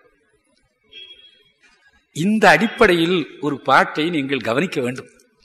வைணவ உரையாசிரியர்கள்லாம் பெரிய உரையாசிரியர்கள். அதுல சந்தேகமே இல்லை. ஆனா அவர்களும் கூட சில சமயம் தவறாக சொல்ற வாய்ப்பு வந்துடும் எல்லாருக்கும் எல்லாம் தெரிஞ்சிருக்கும்னு நாம நினைக்க முடியாது. இப்ப ஆண்டாளுக்கு ரெண்டு நிலை உண்டுன்னு சொன்ன இல்லையா? காதல் நிலையில ஒரு பாட்டு பாடுறா. அம்மா எங்கள் பெருமான் இருக்கிறானே திருவரங்க செல்வன். என் கையில் அணைந்திருக்கிற கழல் வளையல்களை எல்லாம் கழன்று போகக்கூடிய வளையல்களாக ஆக்கிவிட்டான். அவர் யார் தெரியுமா? எழிலுடைய அம்மனையீர். என் அரங்கத்து இன் அமுதர். குழலழகர் வாயழகர் கண்ணழகர் கொப்பூழின் விரிகமல பூ அழகர். எம்மானார் எம்முடைய கடல் வளையை தாமும் கடல் வளையை ஆக்கினாரே. இந்த கடல் வளையை கழன்று போகக்கூடிய வளையாக ஆக்கிவிட்டார். யார் அவர்? இப்ப காதல் வயப்பட்டிருக்கிறாள். அன்விகுதிட்டு சொல்லல. குழலழகன் வாயழகன் கொப்பூழின் விரிகமல பூ அழகன் சொல்லி இருக்கலாம் எப்படி சொல்ற? குழலழகர் வாயழகர் கண்ணழகர் கொப்பூழின் விரிகமல பூ அழகர் அப்போ தன்னுடைய மணாளன் என்று வரித்த பொழுது அருவிகுதியிட்டு மரியாதையோடு அழைக்கிறாள். ஆண்டாளுக்கு கண்ணனின் மீது கொள்ளை ஆசை. சில சமயம் நம்ம ஆசைப்பட்ட பொருளை நேராக கேட்க மாட்டோம். சுத்தி வளைச்சு கேட்போம். ஒருத்தர் இடத்துல ஒரு நூறு ரூபாய் பணம் கைமாத்து வேணும். நம்ம போனோன்னே அண்ணே உங்களை தான் பார்க்க வந்தேன். கொஞ்சம் பணம் கஷ்டமா இருக்கு. ஒரு நூறுரூவா தாங்களேன். அப்படின்னா எனக்கும் தான் ரொம்ப கஷ்டமா இருக்கு. எனக்கும் சேர்த்து நீ எங்கேயாவது இரநூறுவா வாங்க வாங்க இப்போ அவர்கிட்ட என்ன பண்ணுறோம் வணக்கண்ணே உங்களை தான் பார்க்கலான்ட்டு வந்தேன். என்ன விஷயம்? எப்படி தம்பி நல்லா படிக்கிறானா? பாப்பா எப்படி இருக்கு நல்லா இருக்கா? பாப்பா இப்போ வந்துதா? பேசிவிட்டு சரி என்ன விஷயம்? இல்லைண்ணே ரொம்ப கஷ்டமாக இருக்குது. எங்க நான் யார்கிட்ட போய் கடன் கேட்கறது? உங்க நினைப்பு வந்தது. ஒரு நூறுரூவா பணம் இருந்தா தேவையில்ல. அதுக்கு என்னப்பா? இந்தா இரநூறுவா எடுத்துகிட்டு போ. நீ என்ன அடுத்த மாசம் திருப்பி கொடுத்துருவே? இப்படி கொடுப்பார். நாம எந்த விஷயத்தை கேட்க வேண்டுமோ அதை நேரடியாக கேட்காமல் வேறு விஷயங்களை பேசி அதை குறிப்பாக உணர்த்துவதும் அந்த குறிப்பை உணர்ந்து அடுத்தவர் செயற்படுவதும் தான் நாகரிகமான வாழ்க்கை. ஆண்டாளுக்கு ஆசை அவனுடைய வாய் சுவை எப்படி இருக்கணும்னு தெரிஞ்சுக்கணும். இத போய் ஒரு பெண் எப்படி கேட்பா அது சொல்ற சங்கே நீ அவன் கையில் இருக்கிற உனக்கு யாருக்கும் கிடைக்காத ஒரு பேரு. அவனுடைய உதட்டோடு உறவாடுகிற பேரு உனக்கு தான் கிடைச்சிருக்குது. நீ அவனுடைய உதட்டோடு உறவாடுகிறாயே? அந்த உதடு என்ன இனிக்குமா? தித்திக்குமா? கிருஷ்ணா ஸ்வீட் மாதிரி இருக்குமா? கேக்குறா. இது ஆசை. ஆனா இதை நேரம் கேட்டா ஒரு பெண்ணினுடைய கூச்சம் தடை போடுது இல்லையா? சொல்ற கருப்பூரம் நாருமோ கமலப்பூ நாருமோ திருப்பவள செவ்வாய்தான் தித்தித்திருக்குமோ. சுத்தி விளைக்கிறா பாருங்க. தம்பி எப்படி இருக்கா? பாப்பா நல்லா படிக்குதா? கற்பூரம் நாருமோ கமலப்பூ நாருமோ. எனக்கு நூறு ரூபா பணம் வேணும். திருப்பவள செவ்வாய்தான் தித்தித்திருக்குமோ? கேட்க வந்த விஷயம் இதுதான். இது எப்படி தெரியுது? முதல்ல கேட்டது மனம் அடுத்தது கேட்டது சுவை.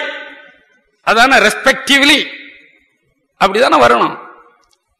இங்க சொல்றார் கருப்பூரம் நாருமோ கமலப்பூ நாருமோ திருப்பவள செவ்வாய்தான் தித்தித்திருக்குமோ? நாற்றமும் வாய்ச்சுவையும் விருப்புற்று கேட்கிறேன்னு பாடுவதான முறை. முதல்ல நாற்றத்தை தானே சொன்ன. கற்பூரம் நாருமோ கமலப்பூ நாருமோ அடுத்தது திருப்பவள செவ்வாய் தான் தித்தி திருக்குமோ. இவளுடைய ஆசை வெளிப்பட்டுட்டுது. கருப்பூரம் நாருமோ கமலப்பூ நாருமோ திருப்பவள செவ்வாய் தான் தித்தி திருக்குமோ. வாய்ச்சுவையும் நாற்றமும் விருப்புற்று கேட்கின்றேன் சொல்லாழி வெண்தங்கே என்றார் என்ன அழகு. அந்த ஆண்டாளுக்கு கண்ணனோடையே கற்பனையில் வாழ்ந்துட்டார். சில பெண்கள் கற்பனையிலேயே கல்யாணமாயி காலத்தை கழிச்சுடுறாங்க இப்ப வேடிக்கையா இந்த காலத்து கவிஞர் எழுதினார். அவர்கள் எல்லா பத்திரிகைகளுக்கும் ஆயுள் சந்தாதாரர்கள். தங்கள் திருமண பத்திரிகையை தவிரனர் இப்படி சில முதிர் கன்னிகள். ஆண்டாள் நாச்சியார் கற்பனையிலேயே கண்ணனோடு வாழ்ந்து விட்டாள். மாப்பிள்ளை ஊர்வலம் வருகிறது. கண்ணன் வருகிறான். அதுவும் நந்தகோபனிடத்துல நிறைய யானைகளும் இருந்திருக்கின்றன. அதனால்தான் உந்து மதகளிற்றன் ஓடாத தோல்வலியன் என்று ஆண்டாள் நாச்சியார் பாடுறார். ஆயிரம் யானைகள் ஊர்வலம். நம்ம ஊர்ல ரெண்டு யானை வந்துட்டாலே பெரிய ஊர்வலம். வாரணம் ஆயிரம் சூழவலம் செய்தி நாரண நம்பி நடக்கின்றான் என்றதில் பூரண பொற்குடம் வைத்து புறமெங்கும் தோரணம் நாட்ட கனாக்கண்டேன் தோழினான். கல்யாணத்துல ஒரு சிறப்பான நிகழ்ச்சி.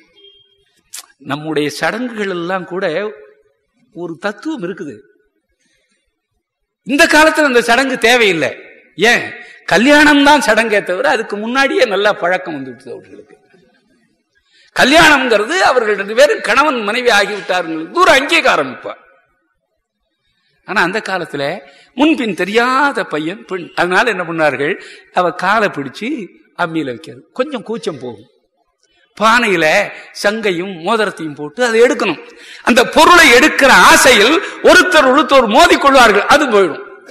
அப்படி நெருங்கி பழகுவதற்காக காட்டுவார் நீ சொல்ற இம்மைக்கும் ஏழ் பிறவிக்கும் பற்றாவான்.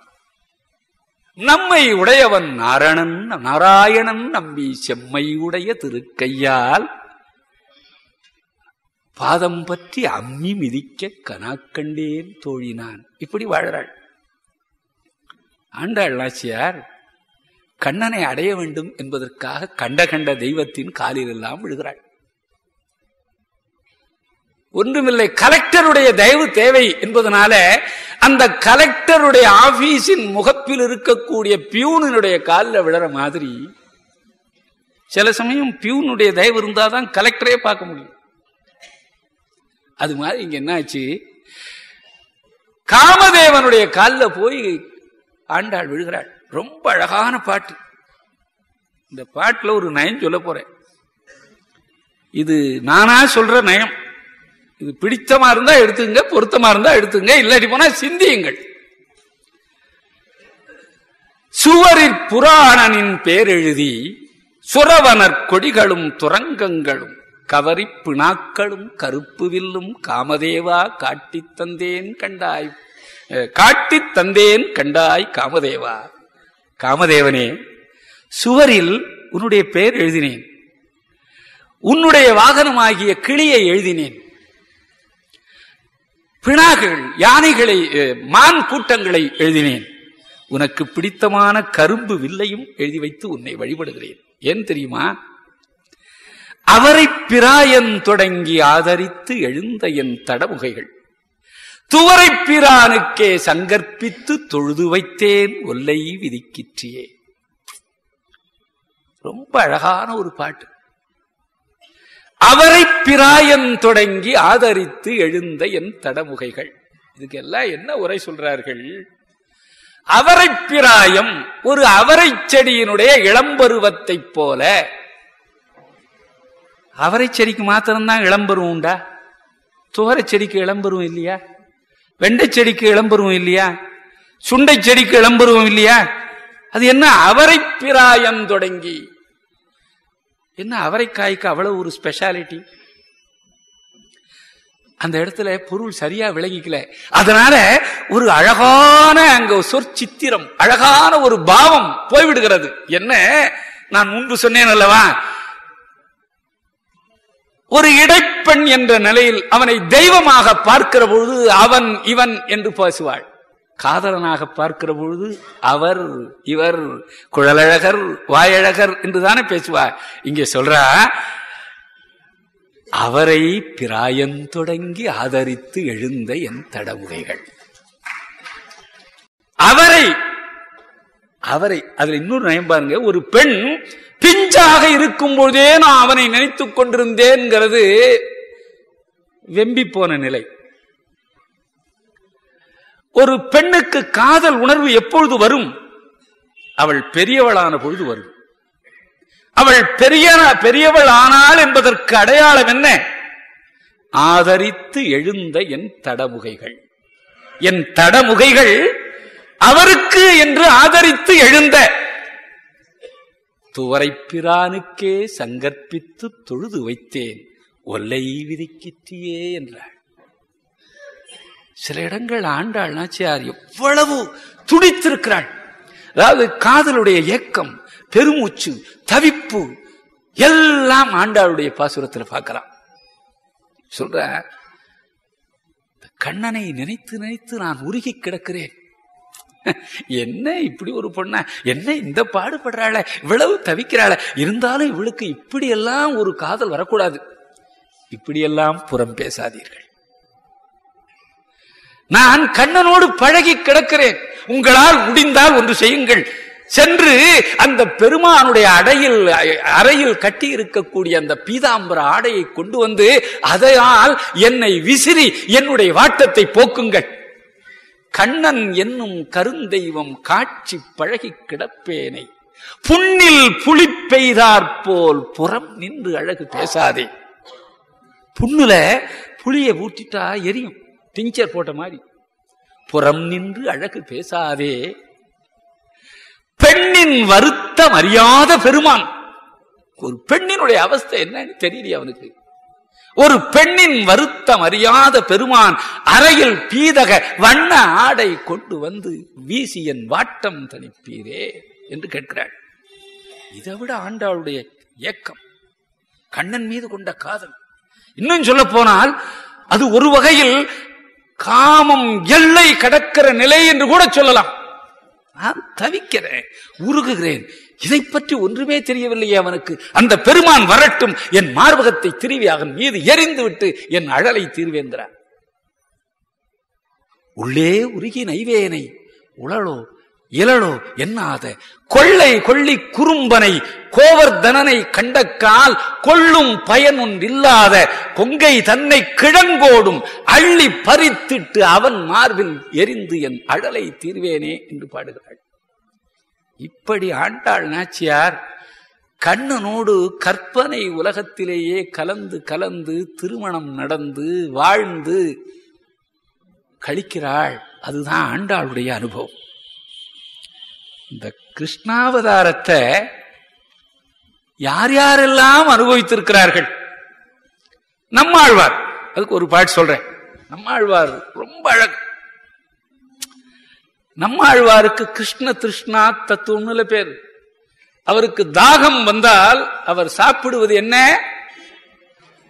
எல்லாம் கிருஷ்ணா ட்ரேட்மார்க் உடைய ட்ரிங்க்ஸ் தான்.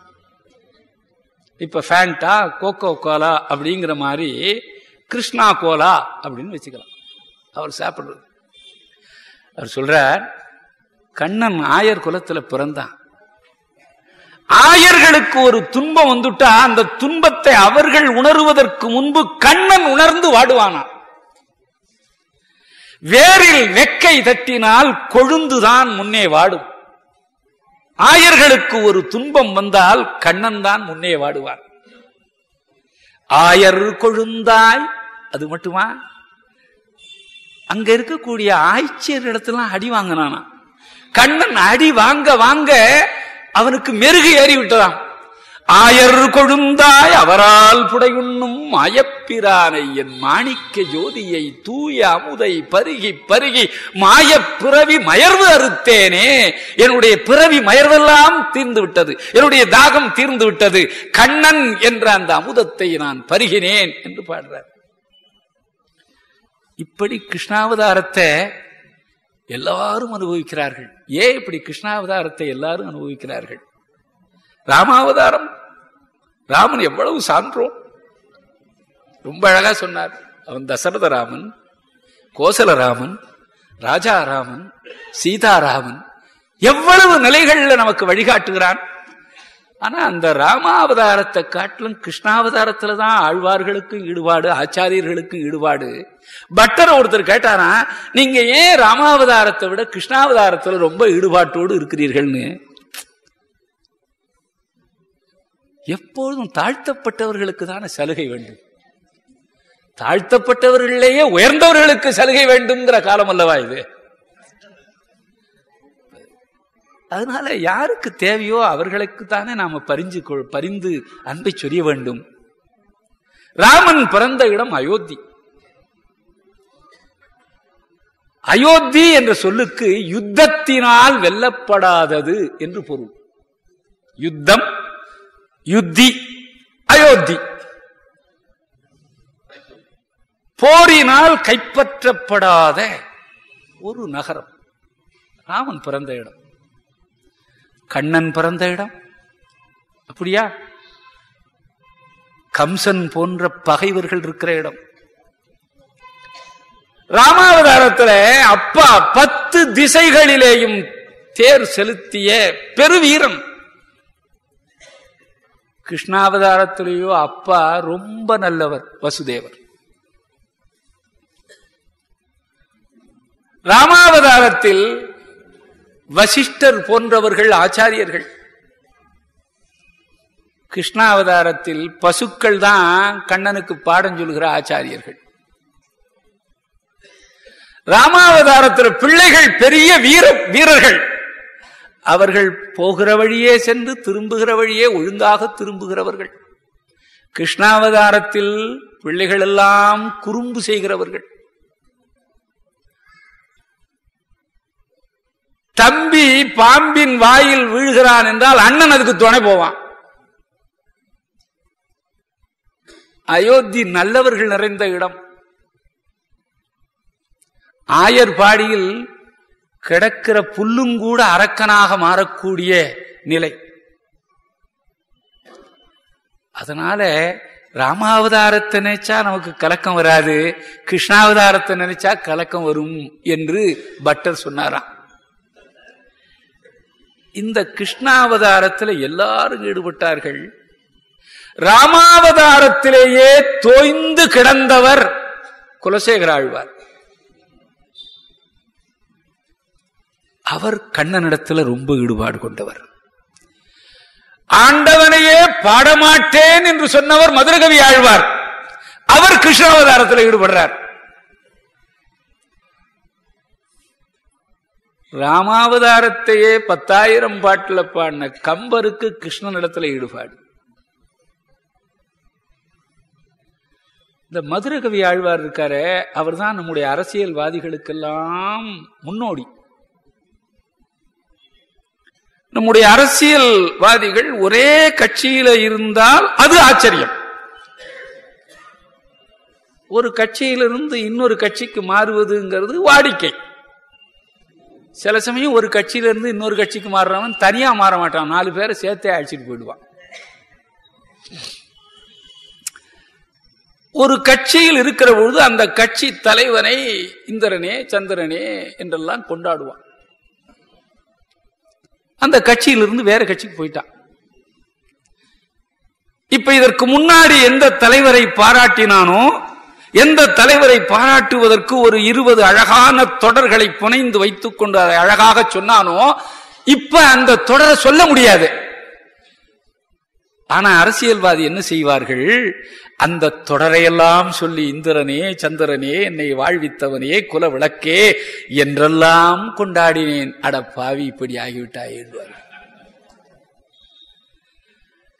இந்த உத்தியை இந்த அரசியல்வாதிகளுக்கு முன்னே கையாண்டவர் யாருன்னா நம்ம மதுரை கவி ஆழ்வார். மதுரை கவி ஆழ்வார் என்ன பண்றார்? கண்ணா நம்மாழ்வார் தான் எனக்கு தெய்வம். நம்மாழ்வாரத்தான் பாடுவேன். உன்னை பாட மாட்டேன் வெண்ணை திருடிய உன்னை பாட மாட்டேன் வெண்ணெய் திருடி அசோதையால் கட்டுண்ட உன்னை பாடமாட்டேன். வெண்ணை திருடி யசோதையின் கண்ணி நுண் சிறு தாம்பினால் உன்னை கட்ட அவள் கட்டுக்கு அடங்கி கிடந்த உன்னை பாடமாட்டேன். இப்ப யார பாடியிருக்காரு? கண்ணினுன் சிறு தாம்பினால் கட்டுண்ண பண்ணிய பெருமாயன் என் அப்பனில் நன்னி தென்குருகு நம்பி என்றக்கால் அன்னிக்கும் அமுதூரும் என்னாவுக்கே என்று பாடுறார். எல்லாவற்றையும் நாலாயிர திவ்ய பிரபந்தத்திலேயே ஒரு அழகான சொற்சித்திரம். நாலாயிர திவ்ய பிரபந்தத்துல ஒரு பாட்டை தான் நீ தேர்ந்தெடுக்கலாம். அப்படி யாராவது என்னிடத்துல ஒரு விதி விதித்தால் குலசேகர ஆழ்வார் பாடின இந்த ஒரு பாட்டை தான் நான் சொல்லுவேன்.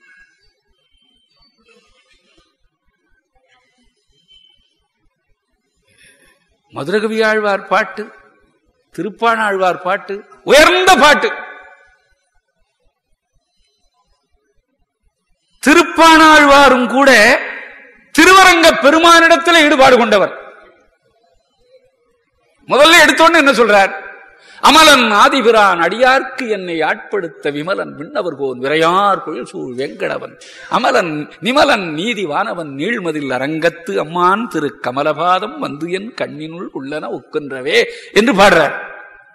கடைசியில் எப்படி முடிக்கிறார்னா அந்த திருவரங்கத்துல கிடந்த கோலத்தில் சேவை சாதிக்கிற பெருமான் யார் தெரியுமா? எங்க கண்ணன் தான். அவன் கொருட்ட மோந்து பார்த்தா வெண்ணை குணுங்கு வீசுகிறதேங்கிறார். கொண்டல் வண்ணனை கோவலனாய் வெண்ணை உண்டவாயன். என் உள்ளம் கவர் தானே அண்டர்கோன் அணியரங்கன் என் அமுதினை கண்ட கண்கள் மற்றொன்றினை காணாவேங்கிறார். கம்பர் ராமாயணத்தை பாடினவர் தானே?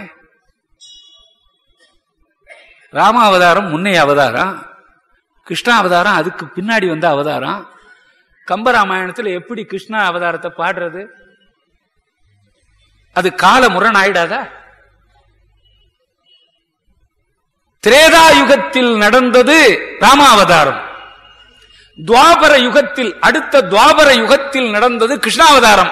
துவாபர யுகத்தில் நடந்த கிருஷ்ணாவதாரத்தை ராமனுடைய கதையை சொல்லுகிற பொழுது எவ்வாறு பாடுவது? கம்பருக்கு கண்ணனிடத்தில் ஈடுபாடு. பாடும் பாடிவிட்டார். கவிஞர் நினைச்சா எல்லாம் செய்து விடலாம். மழை பொழிந்து பெரு வெள்ளமாக பெருகி சரையு நதியா ஓடுது. மழை மலையில பெய்தது. காடு வழியே அந்த வெள்ளம் பெருக்கெடுத்து ஓடி வந்தது. அப்படி யுகத்தில் நடந்த கிருஷ்ணாவதாரத்தை ராமனுடைய கதையை சொல்லுகிற பொழுது எவ்வாறு பாடுவது? கம்பருக்கு கண்ணனிடத்துல ஈடுபாடு. பாடும் பாடிவிட்டார். கவிஞர் நினைச்சா எல்லாம் செய்து விடலாம். மழை பொழிந்து பெரு வெள்ளமாக பெருகி சரையு நதியா ஓடுது. மழை மலையில பெய்தது. காடு வழியே அந்த வெள்ளம் பெருக்கெடுத்து ஓடி வந்தது. அப்படி காட்டின் வழியே ஓடி வருகிற பொழுது இடை பெண்கள் எல்லாம் சேகரித்து வைத்திருந்த தயிர் பால் வெண்ணெய் நெய் எல்லாவற்றையும் உரியோடு அடித்துக் கொண்டு வந்தது வெள்ளம். குருந்த மரம் மருத மரம் இவற்றையெல்லாம் அப்படியே சாய்த்து கொண்டு வந்தது. ஆயர் பெண்கள் ஆயர்பாடியில் தங்கள் சேலைகளை காய வைத்திருந்தார்கள். அந்த சேலைகளை எல்லாம் அடித்துக் கொண்டு வந்தது வெள்ளம். இந்த வெள்ளம் கண்ணனுடைய கள்ளம் மாதிரி அல்லவா இருக்கிறதுங்கிறார். கண்ணன் என்ன பண்ணா உரியோட வெண்ணெய் நெய் தயிர் பால் எல்லாத்தையும் சாப்பிட்டா குருந்த மரத்தையும் மருத மரத்தையும் சாய்த்தான். இடைப்பெண்களுடைய சேலையை கவர்ந்து கொண்டு வந்தான். அப்படியல்லவா இந்த வெள்ளம் ஓடுகிறதுங்கிறார். செரினரும் தயிரும் பாலும் வெண்ணையும் செய்தனையும் உரியொடு வாரி உண்டு குறுந்தொடு மருதம் உந்தி. மறிவிழி ஆயர் மாதர் வனைதுகில் வாரும் நீரால். பொறிவரி அரவின் நாடும் புனிதனும் போலும் அன்றே என்று கிருஷ்ணாவதாரத்தில் ஈடுபடுறார். ராமனை பாடுகிற கம்பர் கிருஷ்ணாவதாரத்தை பாடுகிறார். ஆண்டவனையே பாடமாட்டேன் நம்மாழ்வாரைத்தான் பாடுவேன் என்ற மதுரகவி ஆழ்வார் கிருஷ்ணாவதாரத்தை பாடுகிறார்.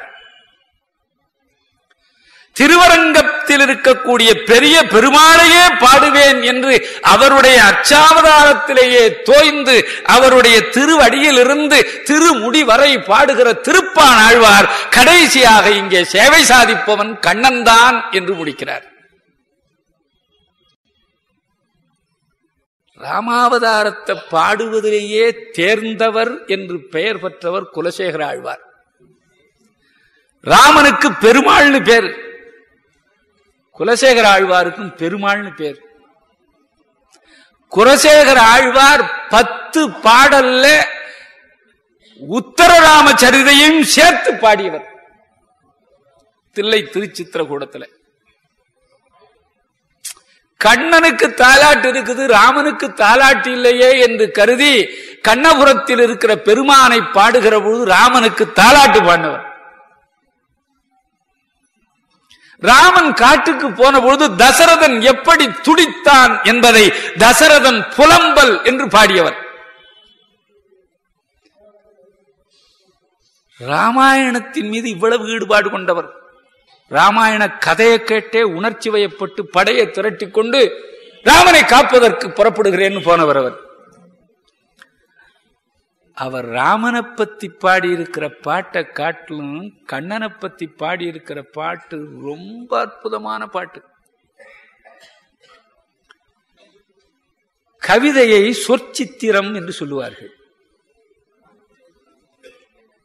ஒரு கவிதையில் ஓராயிரம் சொற்சித்திரங்களை நாம் உணருமாறு செய்திருக்கிறார் குலசேகர ஆழ்வார். கண்ணனுடைய திருவிளையாடல்களிலே அவன் சின்னஞ்சிறு குழந்தையாக இருந்த பொழுது நடந்த செயல்கள்தான் பூதனையை அழித்தது சகடாசுரனை அழித்தது இவையெல்லாம் ஏழு மாச குழந்தையாக இருக்கிற பொழுது நடந்தது. ஆண்டாள் நாச்சியார் அதுக்கே பல்லாண்டு பாடுறாள். அன்று உலகம் அளந்தாய் அடி போற்றி சென்றங்கு தென்னிலங்கை செற்றாய் திரள் போற்றி பொன்றச் சகடம் உதைத்தாய் புகழ் போற்றி கன்று குனிலாய் எரிந்தாய் கடல் போற்றி குன்று குடையாய் எடுத்தாய் குணம் போற்றி நின்று பகை எடுக்கும் வேல் போற்றின்னு பாடுற இவங்கெல்லாம் நின்ற மழைக்கு கொடை பிடிக்கிறவர்கள். என்னைக்கோ நடந்த செயல். அதுக்கு இப்போ பல்லாண்டு பாடுறாங்க. அணை கடந்த வெள்ளத்திற்கு அணை கட்டுகிறவர்கள். ஆனா இந்த பச்சிளம் குழந்தையாக இருந்து பூதனை இன்னும் பால் குடித்து பூதனையை அழித்தது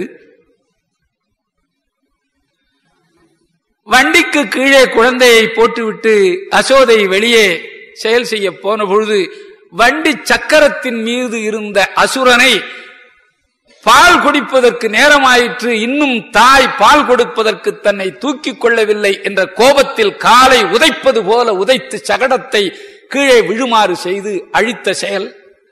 இவைகளெல்லாம் நுனிக்கரும்பு போல. அதிக சுவை இல்லை. பதினாறு வயதாகி சாணூரன் முஷ்டிகன் கோலையா பீடம் இவற்றையெல்லாம் அழித்து கம்சனை அழித்த செயல் இருக்குதே இவைகளெல்லாம் அடிக்கரும்பு மாதிரி.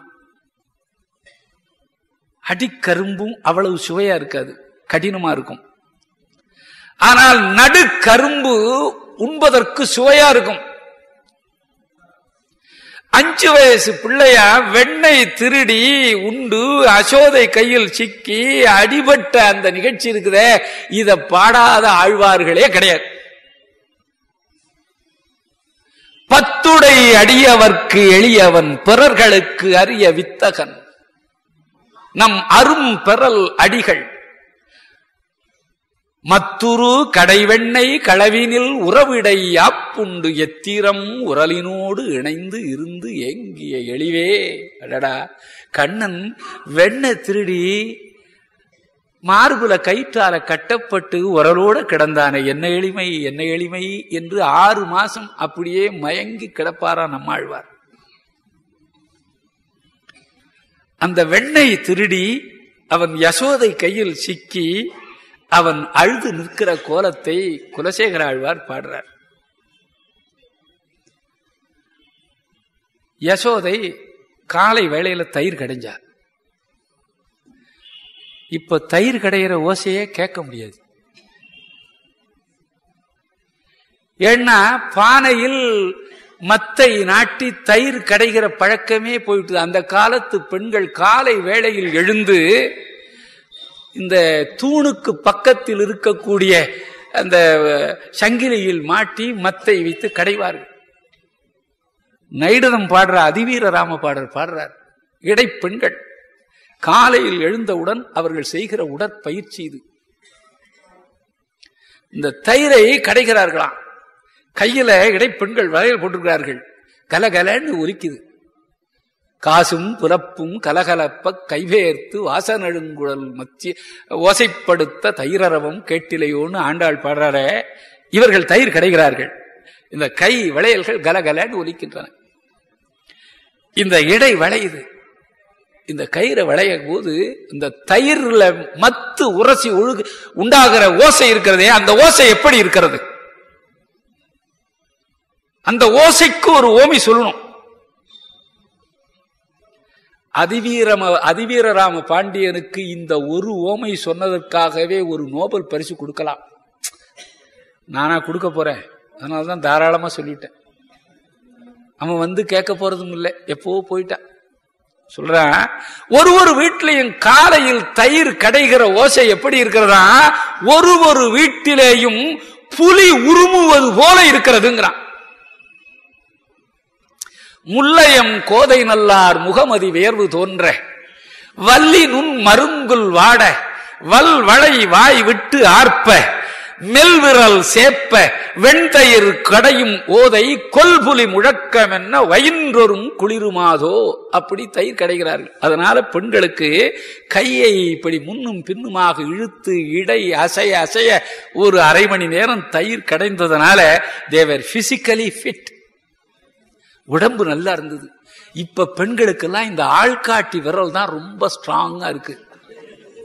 ஏ மிக்சியை அழுத்துறதும் இதுதான். கிரைண்டருக்கு சுவிட்ச் போடுறதும் அதுதான். அதனால முன்னாடி உடம்பெல்லாம் பலமா இருந்தது. இப்ப இந்த ஆள்காட்டி விரல் மாத்திரம் பலமா இருக்கு அப்படி யசோதை தயிர் கடைந்தாள். தயிரை கடைஞ்சு காலை வேளையில தயிர் கடையணும். அப்பதான் வெண்ணெய் திரளும். நண்பகல்ல தயிர் கடைந்தா வெண்ணெய் நெய்யா உருகி போயிடும். இளமையில படிச்சாதான் பாடம் நிற்கும் முதுமையில படிச்சா பாதி நிற்கும் பாதி கரைஞ்சு போயிடும். அது மத்தியானத்துல வெண்ணெய் கிடையிற மாதிரி. அப்படி காலையில தயிர் கடைஞ்சா. ஆயர்பாடியில ஒரு உழக்கு பால்ல உழக்கு நெய் இருக்குமா? அவ்வளவு வளம். பெரிய பந்து மாதிரி வெண்ணெயை உருண்டி அந்த மோர்ல போட்டு கண்ணன் சாப்பிடக்கூடாதுங்கிறதுக்காக உரியில அந்த குடத்தை வச்சு மூடி வச்சிருந்தா. யசோதை என்ன? கஞ்சத்தனம் உடையவளா?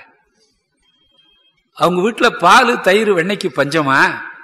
பின்ன ஏன் கண்ணன் சாப்பிடக்கூடாதுன்னு வைக்கிறா சின்ன குழந்தை அதிகமா சாப்பிட்டுட்டா வயிறு மந்திச்சு போயிடுமேங்கிறதுக்காக வேண்டாம்னு அப்படி வைக்கிறா. அப்படி வெண்ணைய வச்சா. அவ தயிர் கிடையறா கண்ணன் படுத்து கிடக்கிறான். அந்த மத்த அந்த பானையை கொண்டு போய் மேல உரியில வச்சு மூடிட்டு போறா அப்பொழுதும் கண்ணம் படுத்துக்கிறான். அவன் தூங்குற விழித்து கொண்டு இப்படி ஓர பார்வையினால பாக்குறான் அம்மா என்ன செய்யறா எங்க வைக்கிறாள்? யசோதை அங்கிருந்து புறப்பட்டு கொல்லைக்கு போனான். யசோதை நல்ல குடும்ப பெண். பெரிய கயிறா இருந்தா மாடு கட்டுவாளாம். சின்ன கயிறா இருந்தா கன்று குட்டிய கட்டுவாளாம். அருந்து போன கயிறா இருந்தா முடிச்சு போட்டு கட்டுவாளாம். இனி முடிச்சு போடுவதற்கே அந்த கயிறுல இடமில்லைன்னு தெரிஞ்சா அதையும் தூக்கி எரிஞ்சுட மாட்டாளாம். கண்ணனை அடிக்கிறதுக்கு பயன்படும் எடுத்து வைப்பாளாம். இப்படி யசோதை கொட்டிலுக்கு போனா அங்க மாட்டை தண்ணி காட்டி கட்டினா கன்றுக்குட்டியெல்லாம் எடுத்து கட்டினா திரும்பி வர்ற. இதுக்குள்ள படுத்திருந்த கண்ணன் எழுந்திருச்சான். போய் அந்த உரிய எம்பி எம்பி பார்த்தான் இந்த நரி திராட்சை பழத்துக்கு எம்பி எம்பி குதிச்ச மாதிரி எட்டுல பார்த்தான் இந்த நரி மாதிரி போயிடல. சிச்சி இந்த பழம் புளிக்கும்ல பக்கத்தில் ஒரு உரல் கிடந்தது. அதுவும் பொத்த உரல். நல்ல உரலா இருந்தா யாராவது தேடிட்டு வந்துருவார்கள். பயனில்லாத உரல் கண்டம்டு. அதனால அதை உருட்டிட்டு வந்தான். மேலே போட்டு அந்த தயிரை எடுத்தான். இந்த தயிர் அந்த பானையை சாய்ச்சான். வெண்ணெய் எடுத்தான். எடுத்து அவசர அவசரமா சாப்பிடுறான். வெண்ணெய் எடுக்கும்பொழுது அவன் கையெல்லாம் வெண்ணெய் வந்துட்டு தான் அதை எடுத்து சாப்பிடுற பொழுது முகத்துல வெண்ணெய் வாயில வெண்ணெய் மூக்குல வெண்ணெய் இப்படி பாதி உள்ள பாதி வெளியில அப்படியே சாப்பிடுறான்.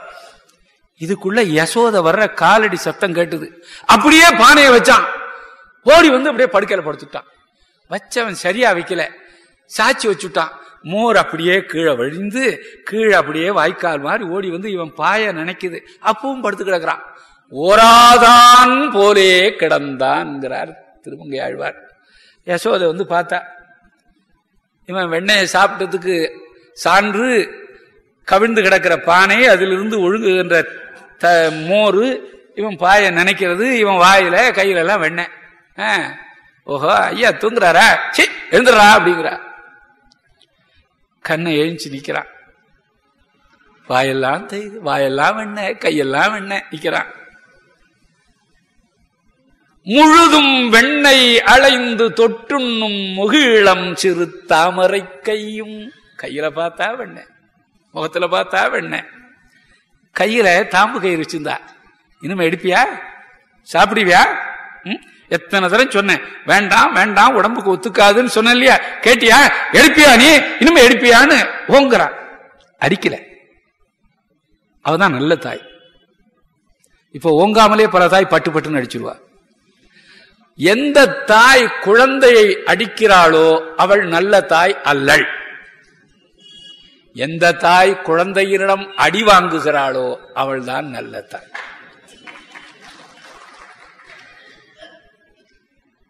இந்திரன் மழை பொழிஞ்சானாம். கல்மழை. ஏழு நாள் பொழிஞ்சான்.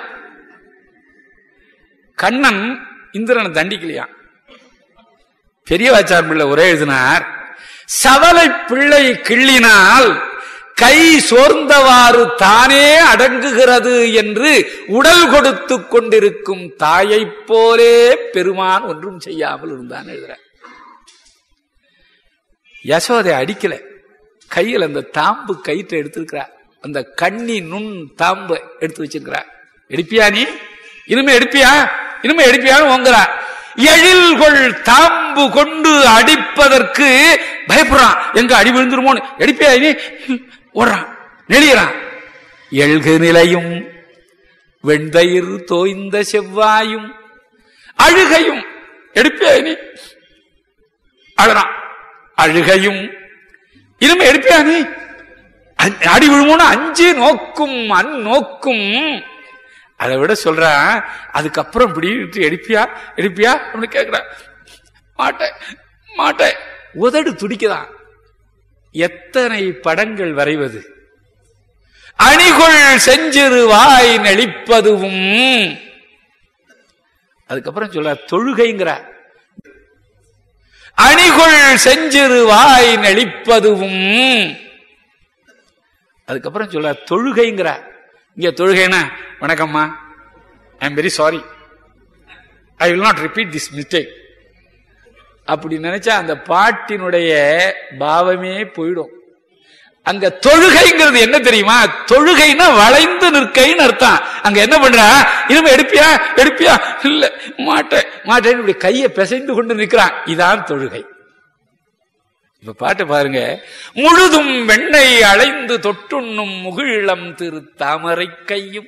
எழில் கொண்டு தாம்பு கொண்டு அடிப்பதற்கு எழுகு நிலையும் வெண்தயிர் தோய்ந்த செவ்வாயும் அழுகையும் அஞ்சி நோக்கும் அந்நோக்கும் அணிகொள் செஞ்சிருவாய் நெளிப்பதும் தொழுகையும் இவை கண்ட அசோதை தொல்லை இன்பத்து இறுதி கண்டாளே என்று வசுதேவருடைய மனைவி தேவகிக்கு கிடைக்காத ஒரு பேரு அசோதைக்கு கிடைத்ததே என்று கொண்டாடுகிற இந்த பாட்டு ரொம்ப அழகான ஒரு பாட்டாக அமைந்திருக்கிறது. கடைசியாக ஒரு பாட்டை சொல்லி என்னுடைய பேச்சை நிறைவு செய்யலாம் என்று நினைக்கிறேன். ஆண்டாள் நாச்சியாருடைய பாட்டில் ஒரு பாட்டு திருப்பாவிலேயே கம்பீரமாக நிற்கிற பாட்டு. ஆண்டாள் இந்த காட்சியை எங்கே கண்டாள் என்று நமக்கு தெரியவில்லை.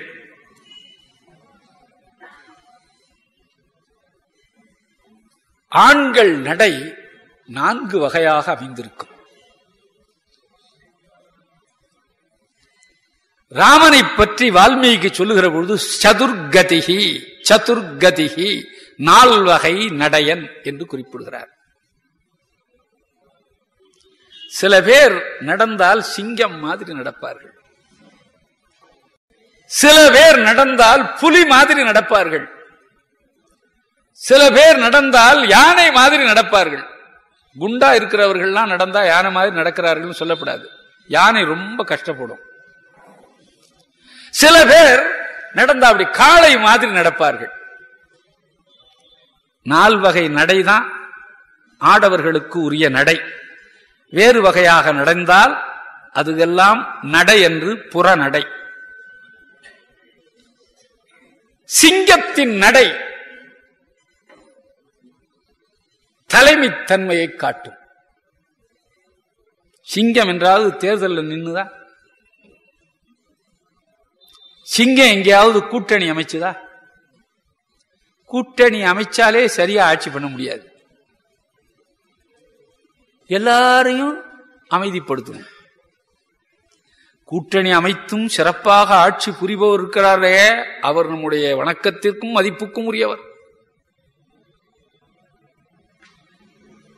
சிங்கம் தேர்தல் நிக்கல. ஆனா காட்டு விலங்குகளுக்கெல்லாம் தலைவன் யார் என்றால் சிங்கம் தான் காட்டுக்கு ராஜா சிங்கம் தான் தகுதி உடையவனுக்கு பட்டம் தேவையில்லை. தகுதி இல்லாதவனுக்கு பட்டம் கொடுத்தாலும் அது தங்காது பறந்து போயிடும். சிங்கத்தின் நடையில் தலைமைத்தன்மை தெரியும்.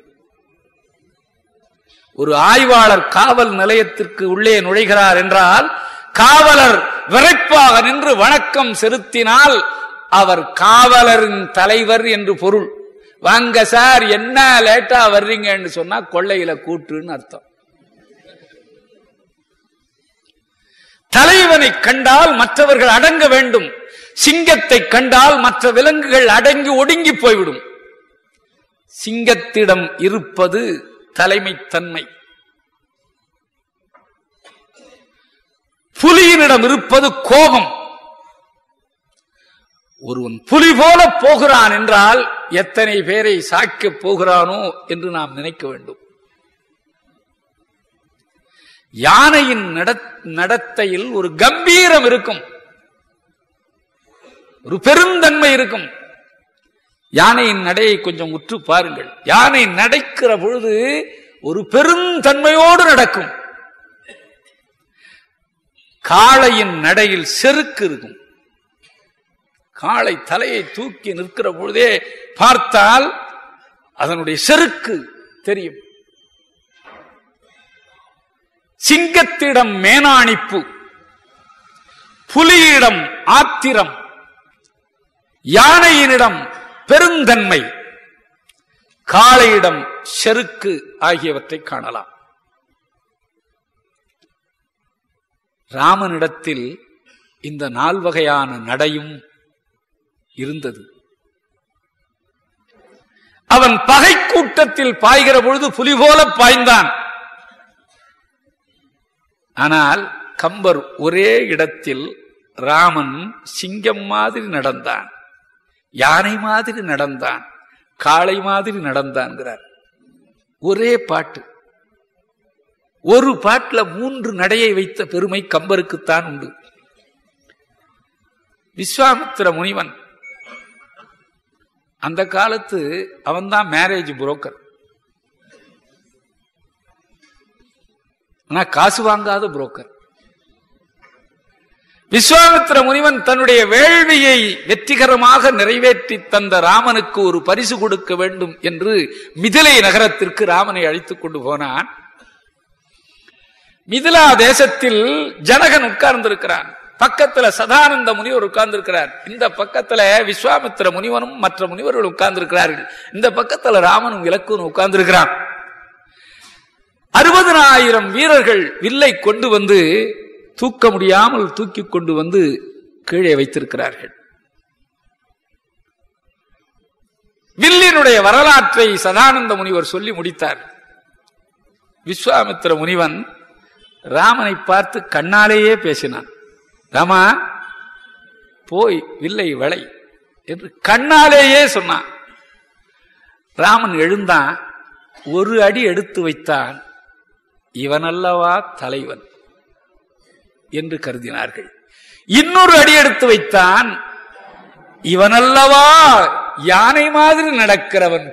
இவனல்லவா பெருந்தன்மை காம்பீரியம் உடையவன் அடடே வில்லை வளைக்கப் போகிறவன் எவ்வளவு தலையை நிமிர்த்து கொண்டு எவ்வளவு செருக்கோடு போகிறான் இவன்தான் வில்லை வளைக்கப் போகிறான். சில பெண்கள் பேசுகிறார்கள் நம்முடைய ஜனகராஜாவுக்கு கொஞ்சம் கூட புத்தி இல்லை. எந்த ராஜாவுக்கு தான் எந்த காலத்துல தான் புத்தி இருந்திருக்கிறது? அழகான பிள்ளை வந்திருக்கிறான் காதுங்காதும் வைத்தது போல கல்யாணத்திற்கு ஏற்பாடு செய்ய வேண்டியதல்லவா முக்கியம்? அதை விட்டுவிட்டு வில்லை எடுத்து போட்டிருக்கிறாரே. வெள்ளம் அணைத்தவன் வில்லை எடுத்து பிள்ளை முன் இட்டனர் பேதையர் அன்றோ. முட்டாள் ராஜா முட்டாள் ராஜா. இன்னொரு பெண் சொல்ற இந்த ராமன் வில்ல ஒடிச்சா உண்டு இல்லாட்டி போனா சீத காலமெல்லாம் கன்னியாக கழிக்க வேண்டியதுதான். வேற எவன் வர போறான் வில்ல விளைக்கிறதுக்கு? இப்படி பேசிக் கொள்கிறான் இப்படி பெண்களுடைய பேச்சு ஆகிய பின்னணி சங்கீதத்தில் ராமன் ஒரு அடி எடுத்து வைத்தான் சிங்கம் மாதிரி. இன்னொரு அடி எடுத்து வைத்தான் யானை மாதிரி. இன்னொரு அடி எடுத்து வைத்தான் காளை மாதிரி. நின்றான் உறுதியோடு நின்று வில்லை எடுத்து வளைத்தான். சில பேர் இந்த வெயிட் லிப்டிங் பாத்தீங்கன்னா அந்த சுமையை தூக்கிடுவான். நிறுத்த முடியாமல் போட்டுட்டு கீழே விழுவான். உறுதியா நிக்க முடியாது. ராமன் உறுதியாக நின்றான்.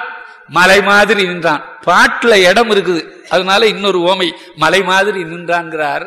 கம்பருடைய பாட்டு தோகையர் இன்னன சொல்லிட நல்லோ ஓகை விளம்பிட உம்பரு வப்ப மாகமடங்கல் சிங்கம் மாகமடங்கலும் மால்விடையும் காளை.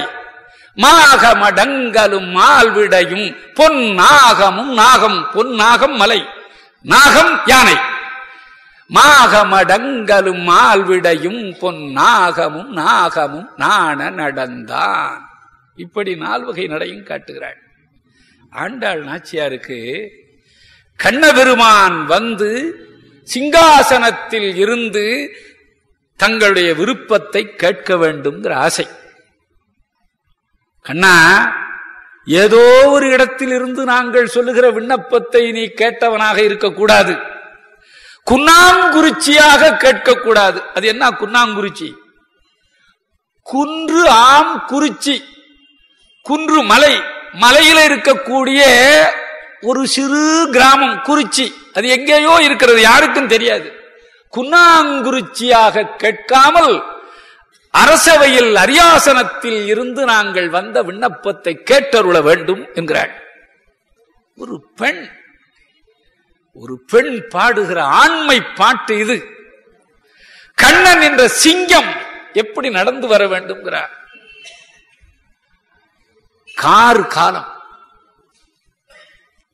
போருக்கு சென்ற அரசர்களெல்லாம் திரும்பி வந்து அரண்மனையில் உறங்கிக் கொண்டிருக்கிற காலம். பிரிந்தவர்கள் துடிக்கிற காலம் சேர்ந்தவர்கள் மகிழ்கிற காலம்.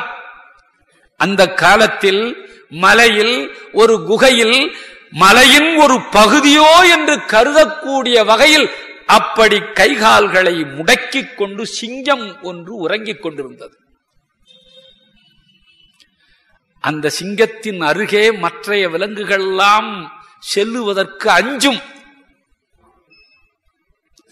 அந்த சிங்கத்தை யாரும் எழுப்ப முடியாது.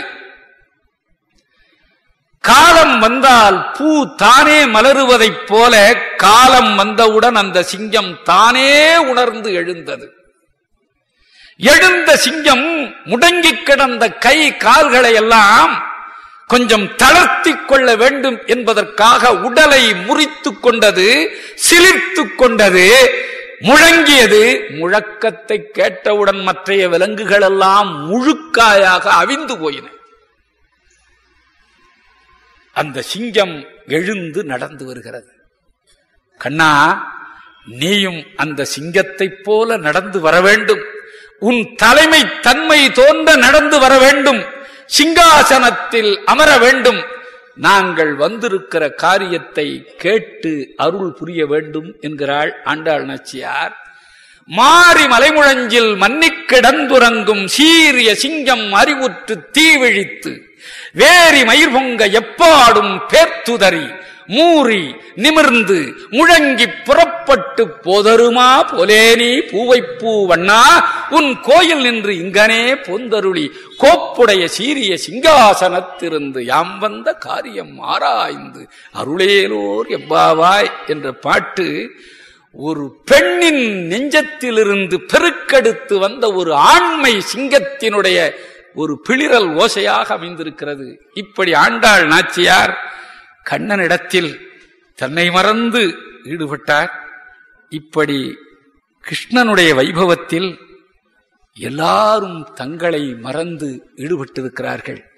நம்முடைய ஆச்சாரிய பெருமக்கள் எல்லாரும் ஒரு சேர தோய்ந்து மகிழ்ந்த அவதாரம் கிருஷ்ணாவதாரம்.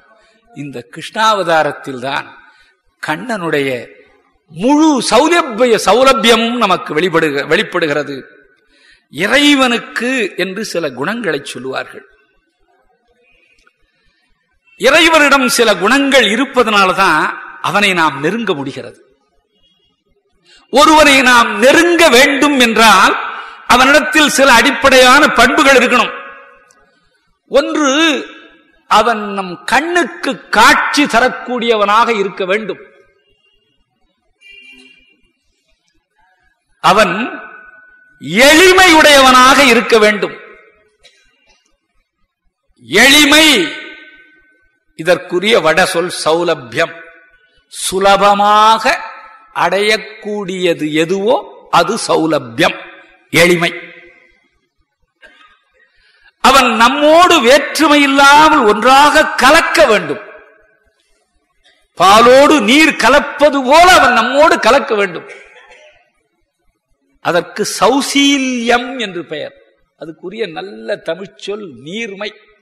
இதெல்லாம் நான் கண்டுபிடிச்ச சொல்லு இல்ல இதெல்லாம் நம்முடைய உரையாசிரியர்களே இந்த சொற்களை கையாண்டிருக்கிறார்கள். அவர்கள் கையாண்டிருக்கிறார்கள் நமக்கு தெரியாது. சௌலபியம் எளிமை. சௌசீல்யம் நீர்மை. நம்மிடத்துல ரொம்ப பரிவுடையவனாக அவன் இருக்கணும்.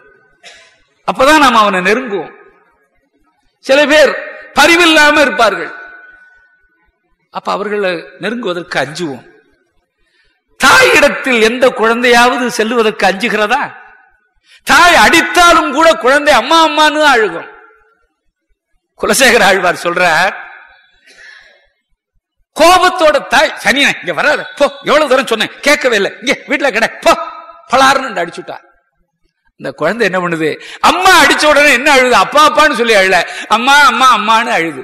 பெருமானே என்னை ஏற்றுக்கொள்ளாவிட்டாலும் என்னை நீ அடித்தாலும் தன்னை அடித்தாலும் அம்மா அம்மா என்று அழுகிற குழந்தையைப் போல நானும் வித்துவக்கோட்டு அம்மா வித்துவக்கோட்டு அம்மா என்று அழிவேன்.